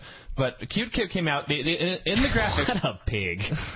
In in the graphic, it reads. It's true, but what a pig! It, it reads quote cute unquote Kip, as if the people in the production truck don't really think he's cute, but they're just going with what he tells them to put up there. So it says cute Kip, and he comes out there, and they're having this terrible match, and uh, it, they're in the joint, which UFC did a million shows in, and it always looked crappy. Yeah, it actually looked kind of good here, and, and they got the heat for no, this it show. didn't. Let me cut you off right, right, there. go ahead. because I want to talk about the joint. Talk about the joint. Now UFC is running the joint, and it seats like a thousand. I think they sold like a thousand tickets. And if if you tuned into this show, did it ever look like there was more than 150 to 200 people in the building? No. No. Ca- counting all the wrestlers in the locker room, it did not reach 200 people. Now, let me ask you this question. How can you be so bad at production that you fit a thousand people in the building and it looks like 250? Well, I don't know. They're doing something wrong. I, I defy anybody listening to this to tell me that they tuned in and thought it looked like a thousand people there. They managed some usually like usually most entertainment companies can make a, a half full building look full. Well, think about what they do in the impact zone, where 90% of the crowd is on one side of the ring, so the crowd looks double. Actually, actually, the impact zone seats, I believe, less people than the Hard Rock. You can fit about a hundred more people in the joint. Is a joint, I'm sorry. Wherever they were in Vegas. You can fit about a hundred more people in there than in the impact zone. Did it look even remotely close to how many people are in the impact zone? No, as noted, they referred to be 150 to 200 people there. A phenomenal production snafu. That, how these people are still employed. Well, we'll get there's more. There is more and worse to come. But I, the reason I say it looked good, Bryan, is because the people who were there were clearly having a great time. They were jumping up and down. They were chanting things. They were loud. They were active. And all I could think was UFC did like eight shows here, and we had to beg them to leave, and they finally did. And and the shows there always were, were flat shows in front of lame crowds, and this is in front of what appeared to be a smaller crowd, but a very happy one. So I, I liked that. So it was It was cool to be in a different building. Yes, it was very cool to be in a different building. They, they, they, they had this horrible women's match here in Las Vegas, and all I could think was, oh my god, Glow is still around. Glow has made a comeback starring Christy Hemme and Velvet Sky. And they had this horrible match, and Velvet did a spot where she had Christy in the corner, and she climbed up in the corner like you would do with like the, the 10 punch in the corner. And then she pulled Christy's head three inches forward and rammed it three inches back into the into the padded turnbuckle. And I suppose there was a cunnilingus reference going on here, but it would just look dumb. And then Christy made a big comeback, and it was sloppy and bad and amateurish. And she went up top, and Kip James, 260 pounds, six foot five, wall of muscle. Kip James leapt up in the apron to interfere. Christy threw her forearm at him, and he took this awesome wacky bump from this tiny girl and the damage she had wrought to his body. Cute Kip is awesome. I like him more now than I have at any point in his career. Wow. And, and then and then Christy hit the leg drop and won, and that was the opener of the live HD era of Impact. They've got a new opening, by the way, which is pretty cool. It was pretty cool. There was lots of I still can't get over the 250 in the building. Uh, It's it has to be seriously, this looked like they filmed at Tulalip Championship Wrestling. Like if they moved everybody in Tulalip to one side of the building and just put the hard camera there, that's what this looked like. including perhaps the same people, because there was one fan in particular who knew he was going to be on live national television, knew he had a seat front row center, perhaps knew he was even going to be on on the hard camera side, so he'd be on TV 40 to 50 percent of this broadcast, and he showed up fat, sleeveless T-shirt, skinny arms, mullet, and a goatee. Yeah. Awesome. Oh, and and, and the uh, the the tribal tattoo around his non-bicep. Yeah. Phenomenal man. Now then we head to the back with Borash interviewing Angle, and long story short, there was Angle, Booker T, and Nash in the room, and they talked about how they wanted respect. You know the whole nine yards Respect. by now, and then they announced that there were three of them. This is when Borash said, "You know, you guys are outnumbered here. There's a whole locker room, and there's just three of you." And and Angle's like, "Oh no, there's one more." Like maybe that one more four against thirty would even it overcome the 30 guys. Yes. And you know what's kind of funny because when you mentioned there was one more guy, I thought, hmm, I wonder who this is. Like my interest peaked for a moment. I thought, hey, RVD is here. Well, no, I, I didn't think that, but my interest was piqued for a moment, and I thought, man, maybe you know th- this this would be the time to hold off this announcement till later on in the show. But of course, no. Then they they just had to make the announcement immediately. Fourth man was Sting. So he came in with sunglasses, cut a promo, And and immediately left. And then Angle announced that this new group was the Main Event Mafia, born tonight. Yeehaw.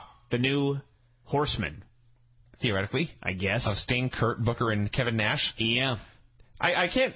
No, it was stupid, but it entertained me. Booker T was being wacky and having a, a mysterious African accent in which he claimed that lions run in packs, not you know prides.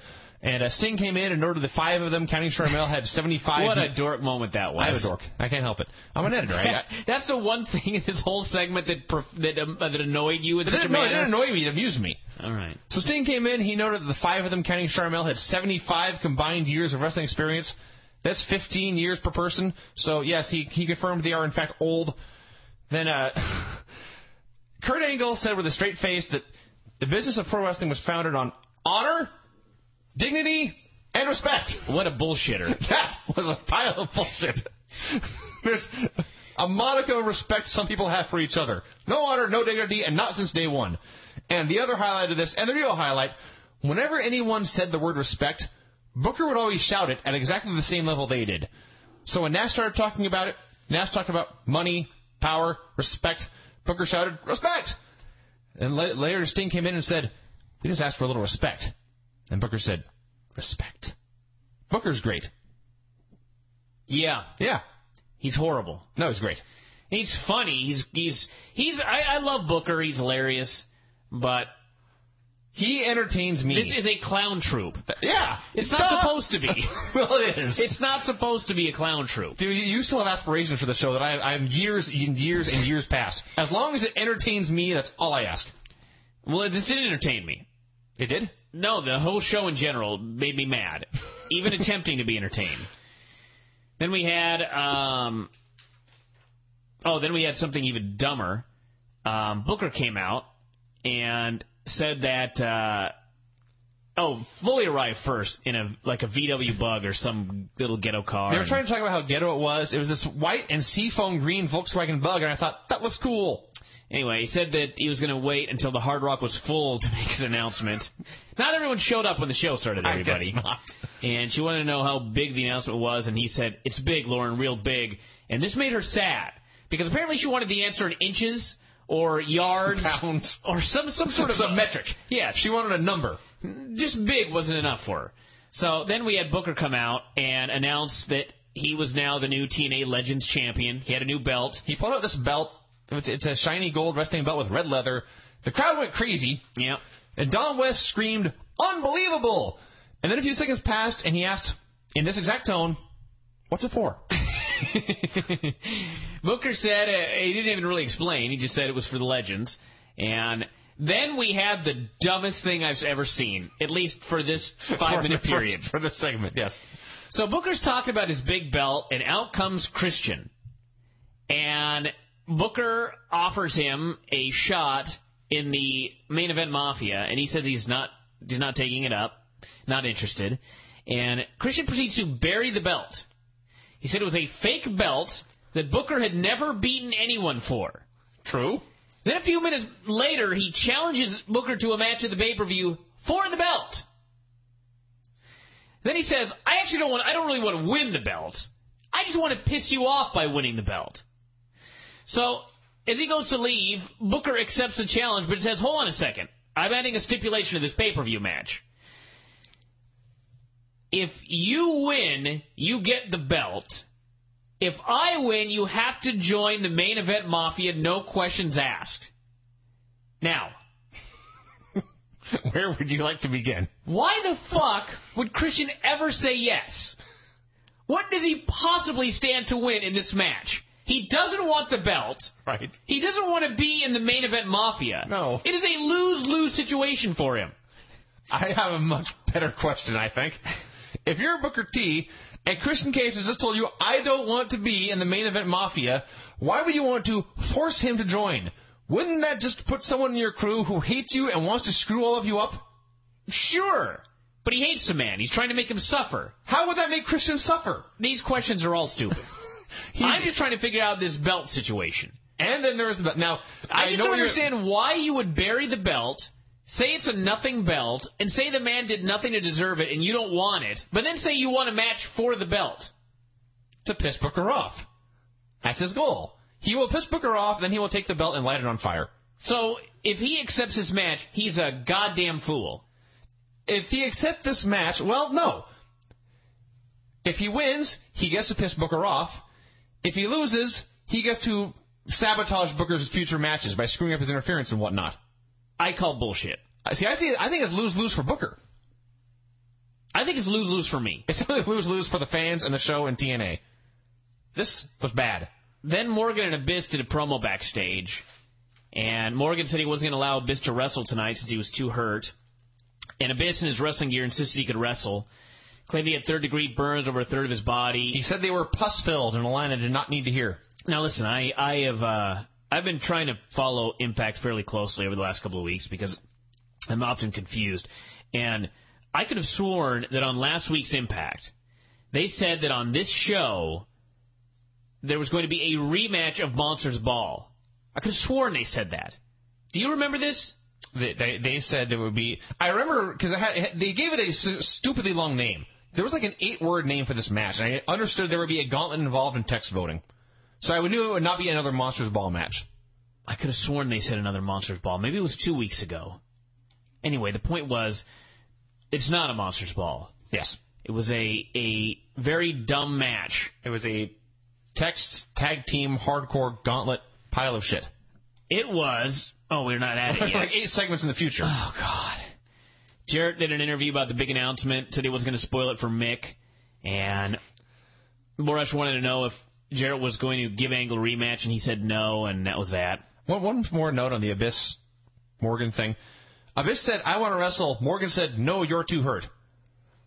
Are there no doctors in TNA? No. There's no physician backstage to check your guy and say, Are you kidding me? Are you kidding me? Of course not. Just what a checking. stupid question.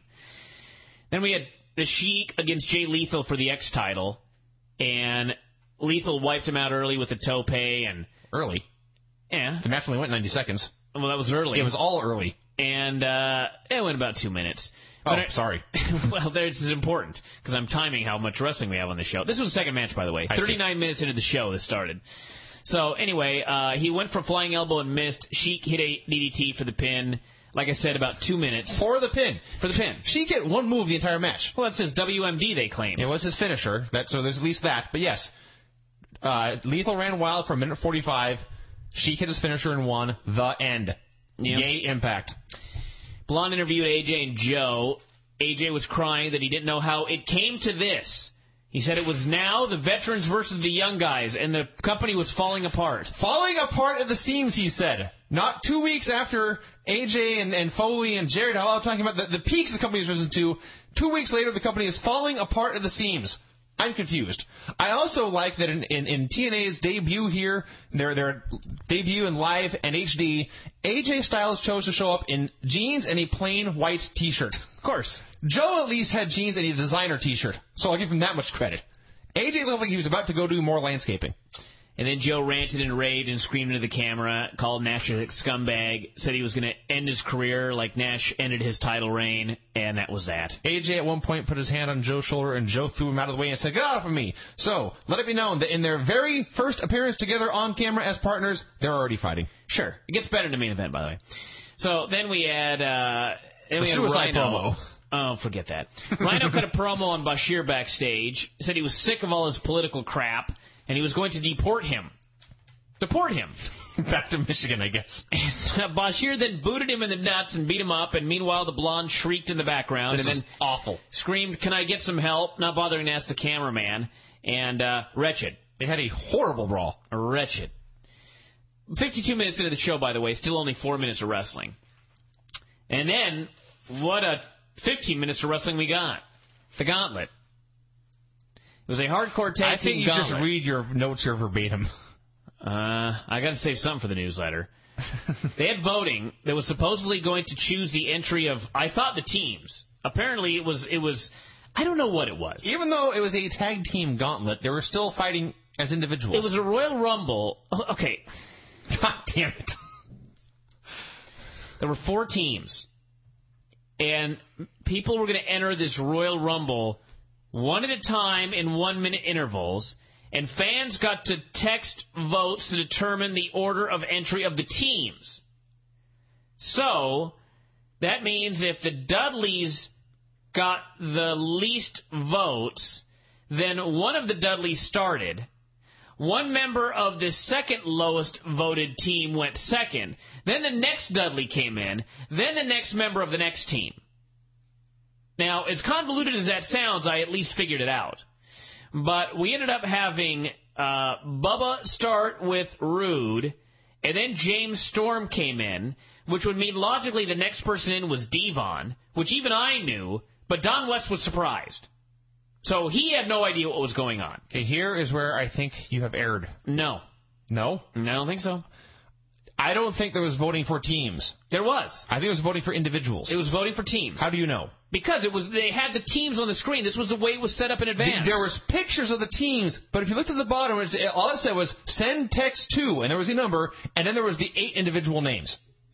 Now, we should not have to fight about this. And don't check your notes as reference. I'm not checking my notes. I'm going to check somebody else's notes. Whose notes are you checking? Larry Csonka. That's a better source. And the Observer. Eh?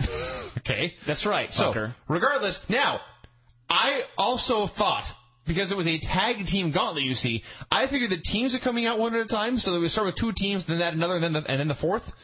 So when they announced 60 second intervals, I thought that meant all the teams would be in the ring within two minutes, and I thought, wow, that's dumb. So when they started coming out one at a time, I thought, well, at least that makes a little sense. And I think that's the last thing in the segment that made any sense at all whatsoever. So if the order of entry was Bubba, uh, Storm, Roode, Devon, Hernandez, Homicide, maybe those are backwards. No, that's right. And then, um, let's see. Then, then Morgan and then Abyss was lost. Morgan last. and Abyss. Those are all the teams in order. So I can't fathom uh, this is this is way too coincidental. It's either it's either full of shit the voting or it was voting for teams. Point is, this was what happened. And Don West was still confused. I knew Devon was coming out and Don West didn't. That's the point of this fucking thing. I see. You've got me off my game here. Well, the match began. It was it started as noted several times with Bubba Ray Dudley versus Robert Roode. And Bubba Ray Dudley, for the 60 seconds they were in, the, in there alone, he played the babyface. He was running wild. He was dancing. The crowd was going crazy. And Don West said, well, you know how he feels about beer money anyway. And I thought, I do? Then later he said, Bubba Ray thinks that beer money has stolen their thunder. And I thought, he does? When? What? What are you talking about? And I was, I, that perplexed me as well. Then, uh, James Storm came out. They, uh, ran wild on Bubba Ray for a while. They hit the beer money suplex. Now, we've been marking out for this move for like four months now. It's very simple. They do a double team suplex. One guy schemes beer, the other guy schemes money. This move still confuses the TNA director. To the point wherein they hit the suplex and they chose to focus on Bubba Ray Dudley, who was just lying there grimacing. And we missed the beer and then the money. Way to go, guy. And Nobody it gets worse. Any idea what these rules are? I'm, I'm, reading two different reports and nobody has any idea how this fucking thing Do, works. do we need to match up with yours? Jesus Christ. Let me get on with this whole stupid thing. Anyway, the point was, I don't even know what happened at the end. well, okay. Hold on a second. You want to get more? All right. Morgan. First off, Don West was promising it was going to get more chaotic, which pissed me off. I didn't want it more simple. That was his selling point. There was going to be more chaos. Oh, we forgot something. As the match began, the words table, chair, and ladder appeared on the screen, and it said, send your text vote now. And Don West told us that the winner of that text vote would then be a legal weapon in this match we were watching right now. You had six minutes to vote. Hurry, hurry, vote, vote, vote. So, Anyway, the match goes on. Ho- hold on, calm down. It's my turn here. All right, I've take got off. much to say. So finally, Matt Morgan came in and tossed a bunch of dudes, and this is where I this is where I just This is where it completely fell to shit. So Matt Morgan starts throwing out dudes, and I could have sworn that earlier they made it clear that Abyss wasn't going to be allowed to wrestle. So as Matt Morgan's in there, they're doing a countdown anyway. Now, he's the last guy except for Abyss. Right. So the countdown should have alerted him to something. So when it counts down and the last man, who uh, they pretended like they didn't know who it could possibly be. Yes. And it's the last man of eight known men, or however many it was. It was eight. Abyss comes out, and everybody's shocked, and Matt Morgan is mad. Now, as Matt Morgan is not paying attention or something like that, he gets dumped outside. Now, if you have this on tape, go watch the single worst elimination in the history of Battle Royals in Matt Morgan. I have worked God knows how many Battle Royals. I've never seen an elimination this bad. He was, he was pushed slowly over the top by two men. He sat down on the apron. He laid down to a reclining position, and then of his own power, he rolled off the apron to the floor.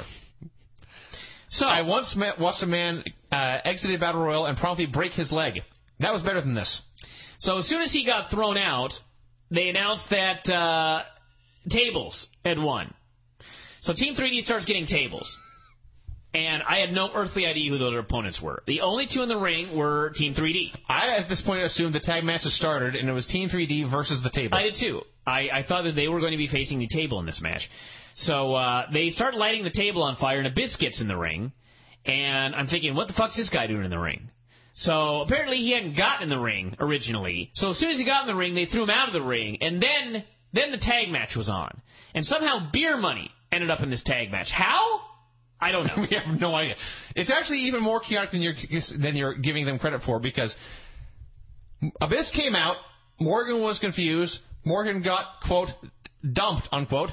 Then suddenly everyone in the match was fighting on the floor. It was a Royal Rumble in which everyone entered and no men were in the ring.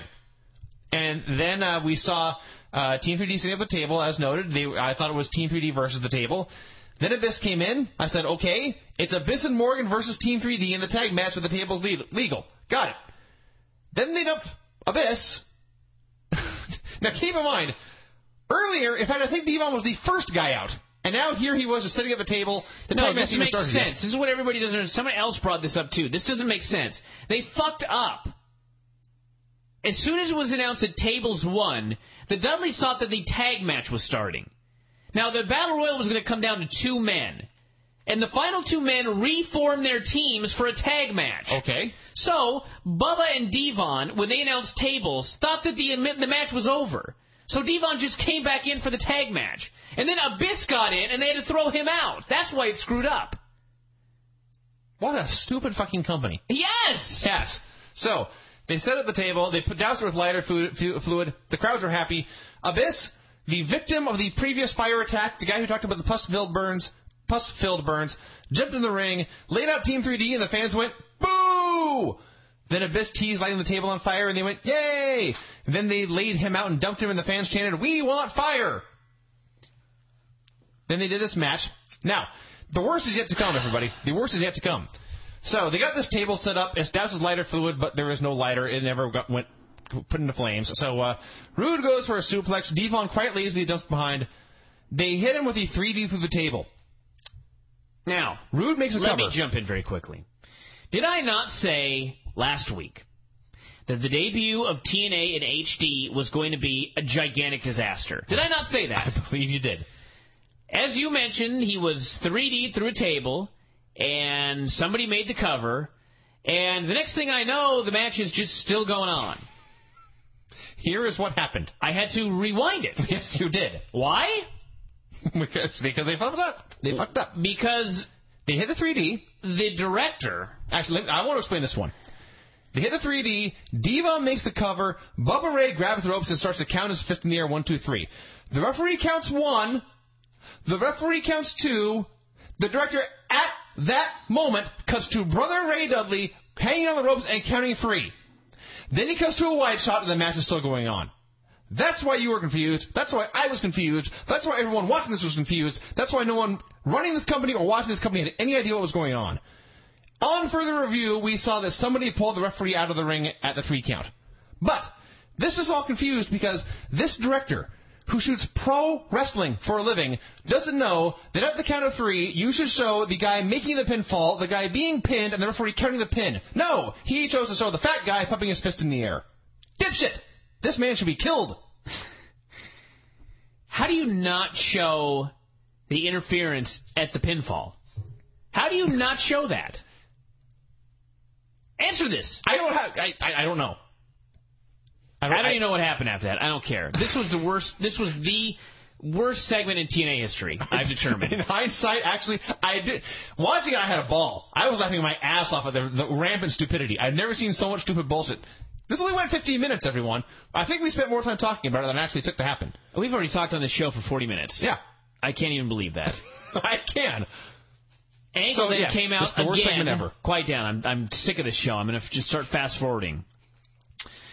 Angle came out again. Said tonight was a historical night. The birth of the main event mafia. They're gonna change the face of pro wrestling forever. How many fucking times have I heard that? I don't know. Can you just hire Tony Schiavone already? Then he said uh, he didn't care about Foley's announcement. He only cared about Jeff. Said he'd beat up his kids or go to his kid's house. I don't care. He, he said he didn't give a shit about Jeff, and he had to censor him because he was cursing here on live TV because he's hardcore. Derek Jarrett came out and said that they had the best roster ever. He didn't need to be in the ring. Angle should think about passing the torch as well. Kurt said he didn't care about Jarrett, and then Jarrett said something about look behind you, and Abyss beat up Angle. Actually, Abyss went for the slam, and Angle slipped away, which looked like a botched spot, but it was done on purpose, and yeah, who cares? At this point, I realized there were 45 minutes left to go on the show. Who cares? Wow, Kurt Angle and Abyss at the pay-per-view. Now, what a feud that's going to be. Talk about no buys. That phrase is overused, but that is no buys. No Who the fuck is buying a pay per view for Kurt Angle and Abyss? I don't know. Nobody. Crumbly. That is it. Oh God. Then we had uh, Kong and Raisha Saeed, or uh, they did a promo actually saying it was going to be Taylor's last match, not only as champion but in life. She was going to be killed. And then Taylor said, "You'd have to end my career to beat me," which was in fact incorrect. So they had a match. Well, you don't know that yet. It went about, I'd say, three, four minutes. It was maybe. a very fun three and a half to four minutes.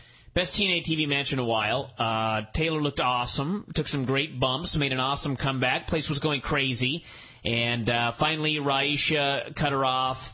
And as Taylor went after her, Kong grabbed her and hit a huge power bomb for the pin. So the usual, Kong couldn't win the title clean. No. They had to have some sort of wacky, convoluted bullshit as they always do, and it hurt the match. But overall, it was uh, it was good. And they they showed Kong for ten seconds before it was to the back. Indeed, yes. So this is a, this is a thumbs up segment, and, and the best match in the show by leaps and bounds. And then we had Sting and Nash against AJ and Joe. They went to the commercial as the heat started, and then they came back right as the heat ended and they got the hot tag. Now, there's a point to the heat, you know. And what would that be? Well, you're supposed to make people excited for the comeback. Supposed to build sympathy, you see, for the babyface. Well, they didn't. It was No. just the babyface ran wild. They did a commercial, and then the babyface ran wild some more. And then the heels won after Nash hit Joe with the belt. A useless main event. There was less than four minutes of TV time for this match. No. And let me get this straight. So you you created the main event Mafia, and you couldn't even hold off the first main event Mafia versus Young Guys match for the first pay per view. No. You had to do it immediately on that Impact an Yeah. hour later. Yes. God, this place is retarded. Yes. So a useless main event. So yes, they, they, they did the they did the match. Joe got pinned. Everyone, Joe got pinned after a belt shot.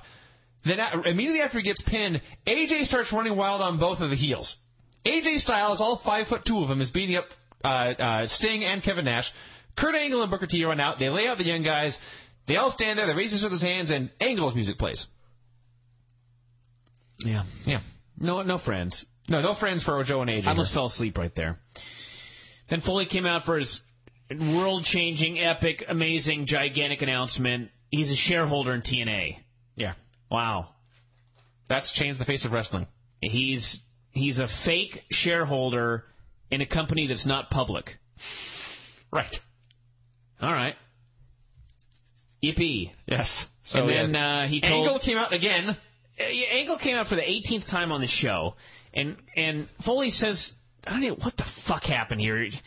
Angle headbutted him, and then Foley said, "I'm a shareholder. You headbutted your boss. I'm not going to fire you." And then he starts talking about how you know, Kurt, you can either be part of history or for or or you can be history.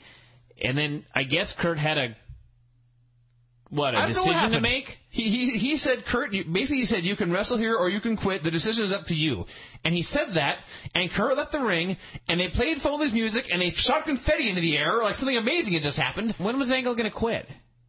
He said, he said, remember, he they did a whole bit. The, the whole angle was he was mad at Jarrett because Jarrett was hurting because he But wanted there- to go to E. ne- WWE. Never was he going to quit. What? He never even said that in the interview that he wanted to quit. He never said in the interview that he wanted to leave.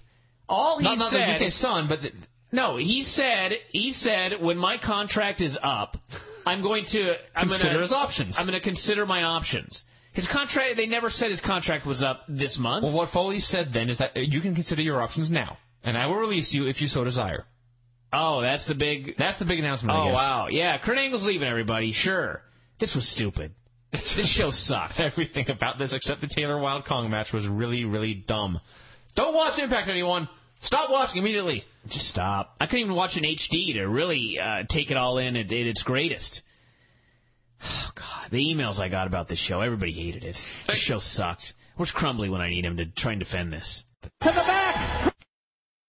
Impact, as noted, was a much better show than usual. We still do not get the show in HD, and so I, I, uh, I noticed that when the show started and there was all the noise and explosions, we could not hear the announcers. No, that that they, the bad production values continue. I was hoping that this would be permanent. Yeah. yes. But no, it, we could hear music and, and, and basically whenever the, the music was off, it was fine. But when the whenever any music started, we could just hear the, the we could hear mumblings from the announcers very softly. So then AJ and Joe came out, cut a promo. They got a new set, by the way, which looks really cool. There's a positive and a negative. I hate to be negative about this new set because it does look really great, but the one negative is it looks just like Raw. It looks exactly like the Raw set. Big giant screen up at the top. Guys walk out from the side, come out the middle, go down the ramp. Yeah, Yeah. it's they need to be different from WWE. And granted, this is a huge upgrade. Being different from WWE in a ghetto manner, like the old Impact set, that's bad. So at least they're they're the same as WWE with a good set now. Anyway, AJ and uh, Joe came out and uh, anyway they talked about the main event Mafia and said TNA was growing and talked about uh, how last week they got beaten up and nobody came to help them and wanted to know who had the balls to stand with them. So we got Petey Williams, Consequences Creed, Jay Lethal, Eric Young, and ODB. So the NWO black and white. It went from two to like fourteen in one one minute. So Just a bunch of geeks. the machine guns came out and acted heelish and got in Joe's face and eventually he slapped him. So then the main event Mafia came out in suits and um, there were nine baby faces in the ring and four heels on the ramp for those of you keeping track. And um, anyway, at this point, the machine guns were all, all of a sudden friendly and ready to fight the bad guys, so that made no sense. But anyway, they, they all cut a promo, and Joe said the reason that Hall didn't show up at the pay per view many months ago was because he felt Joe wasn't worth the rub, and said they were going to get a war. Booker was still in his stupid accent, which was funny when the show was supposed to be comedy, but now they're supposed to be serious, this was so dumb. And then we had the uh, tease that there were going to be five. Uh, one more man was to come. And there was some weirdness, but overall it was a uh, pretty good segment to at least make it clear who is on whose side and what the current teams are. Uh, mostly, except I, I, I, well, I guess by the end of this we knew whose side the machine guns were on, but the machine guns apparently turned in this angle. They, they turned when the main event Mafia came out, which is weird. That, and of course, it's weird that Joe and AJ go from having no friends to having a cast of thousands at their side. It's weird that the cast of thousands are allegedly the good guys facing off against the monolithic, unstoppable force that is the bad guys. It's uh, uh I don't know. Uh, there's Oh, um, the the fact that everyone just came out at random, just a, just a, a, a just a random crew, guys who weren't doing anything, just came out and all shook hands, and, and they're all the heroes now. What the hell does ODB, for example, have to gain by this? What does she have against the main event Mafia? Is she going to wrestle Sharmell? Maybe. I don't know. I don't know. There's weirdness. I also like how strange music started to play, and I thought, what's this? Whose song is this? And Don West said, well, there's the main event Mafia's music. Even though I watched all the shows, this song had not been played before. He's psychic. Then we had Borash interviewing Jarrett, who uh, said wanted to know what he was going to do about this, and Foley showed up and asked Jarrett if he cared if he improvised tonight, and Foley said he had to get some stuff off his chest about Sting. The uh, blonde interviewed the beautiful people who buried ODB and Christy Hemme, and it was at least a fun promo, but we were now 22 minutes into the show with no wrestling. That is true. There was no buys. I, I, I can't complain though because this promo was great, particularly the performance of one cute Kip, who may be my favorite wrestler right now. And then we had the match, which was one of the worst matches of the entire year. I think CCW started and we were not ready for it. Beautiful People against Christy and ODB. My God, was this horrible. We had Velvet and Hemme starting. Then they got the heat on her, which should have been 30 seconds max. Instead, it was like two minutes. It felt like 30. Keep in mind, part one point in the Beautiful People's promo was saying, "Hey guys, Christy Hemme is not a wrestler," and here she was proving it. So some of the worst wrestling you've ever seen. ODB got the hot tag. Christy tried a uh, dive on Akip, who basically caught her and buried his face in her tits. And then ODB hit uh, something resembling a side effect for the pinfall. Thumbs down. I, I just need to point out the, the start of the match with Velvet Sky and Christy Hemme. Velvet did a go behind. She then pushed Christy to the ground. Christy lay there, and Velvet ran over and began to stomp. And it was on. Machine Guns ran into Joe backstage and uh, basically said, We're in. And Joe said when it came to allies, he had trust issues. And when the guns were fired, he was going to see if the guns fired back. Get it? Machine guns? Because they're guns, you see. Fire? So Eric Young did a promo saying he was no longer a geek. It was now serious Eric Young time, which is actually good news. We had the Young versus He James. did say here at one point, he said, You saw what Kurt did to my friends last week. And I thought, Your friends? What happened last week? And I thought and thought, and realized he was talking about when Kurt Angle beat up Shark Boy and Curry Man. Yeah. So after all this time, Eric is now just, oh yeah, by the way, I'm Super Eric. just doesn't care anymore. Just moving on. It's serious now, Vince. Come on. Young and James Storm. Eric Young is great when he's not being a fool. Fireworks didn't even scare him this time, so apparently that was all a work. He no sold them, yes. Yeah. So Roode tried to spit beer in Eric's face, but got his own partner, and Eric got the pin. And then he was immediately attacked to make sure the win meant absolutely nothing. And uh, why they didn't just beat the guy, I don't know. And the machine guns finally ran down to make the save, so they had chosen their side. Ten minutes later, Yeah, and then th- this, build up some tension here, everybody. Yeah, and, and and the match it was it was fine, but it was it was four minutes of stuff, and then it finished, and then more wackiness. Borash was trying to interview Kong and Raisha when Taylor and Roxxi attacked her. This attack lasted 10 seconds, and it was over. Now you actually went to the bathroom and missed the prior 10 second segment with Taylor and Roxxi. They were walking backstage in street clothes with pipes, and the blonde ran up and said, "Hey, what's going on?" And Roxxi cussed at her, and then it ended. Fuck off, perhaps? So very close to that, actually. Shit off? I don't remember the exact sentence, but it got bleeped immediately. Get, get, get the F out of my way, perhaps. And we had uh, promise of a political roundtable smack down your vote deal with Foley, which, uh, We're still waiting for. well, upon further investigation, apparently it's online. Well, perhaps They did they a should have made that. very poor job making this clear. I, I I was under the impression when he said it that the next thing would be Mick Foley and three other people talking politics, which kind of intrigued me. But then we never saw it again or No. heard about it again. Then we saw Bashir choking out Rhino, and uh, Tenay said, and I quote, he choked the life out of him. So Rhino is now dead. Apparently, but he's at the pay per view, so I don't know how that works. Now they, for this, and uh, they showed a lot of replays in the show, which is good. I, I, I found it funny, but at the same time, it's, it's good. At the at, whenever a replay stopped, a big graphic came on the screen with the word "replay" in giant red letters flying at you, to leave no doubt that this is a replay. And it was almost like they were saying, "Fuck you, Vinny, for complaining about no replays. Here's a goddamn replay." To which I say, "Fine, thank you." This is how backwards this company is in 2008. We've got Hiroshi Tanahashi of uh, New Japan and Volador Jr. from CMLL. And, of course, they're evil foreigners, Yeah. first off. Uh, Hiroshi Tanahashi doesn't get a first name. He's just Tanahashi. And Volador Jr. does not even get a junior. He's just Volador. So we had Volador and Tanahashi against the Motor City Machine Guns, which was fun. Uh, Machine Guns won, so hell of a debut for uh, for the evil foreigners. And Bashir got really mad. He was doing commentary. He tried to beat up the Mexican, but then Rhino gored him out of his boots, and uh, that was the entire segment there. So Bashir is he he attacked Rhino with a lamp, and they showed a replay of this. Then he came out to do commentary. I thought, okay, Rhino's going to wrestle. And then this wacky international tag started, and I looked closely, and there's no Rhino involved. And he started burying the machine guns and putting over the uh, Mexican and the Japanese fellow. And I thought, okay, he's just going to be with the evil foreigner. And then the machine guns won, and he flew into a violent rage. And I couldn't figure out why. What Why, why was he so passionate about this? That that that Team Tanahashi Volador lost, and then he went in to beat them up, and, and I, I just thought, who are you feuding with? And then Rhino came out again, and it was very confusing to me.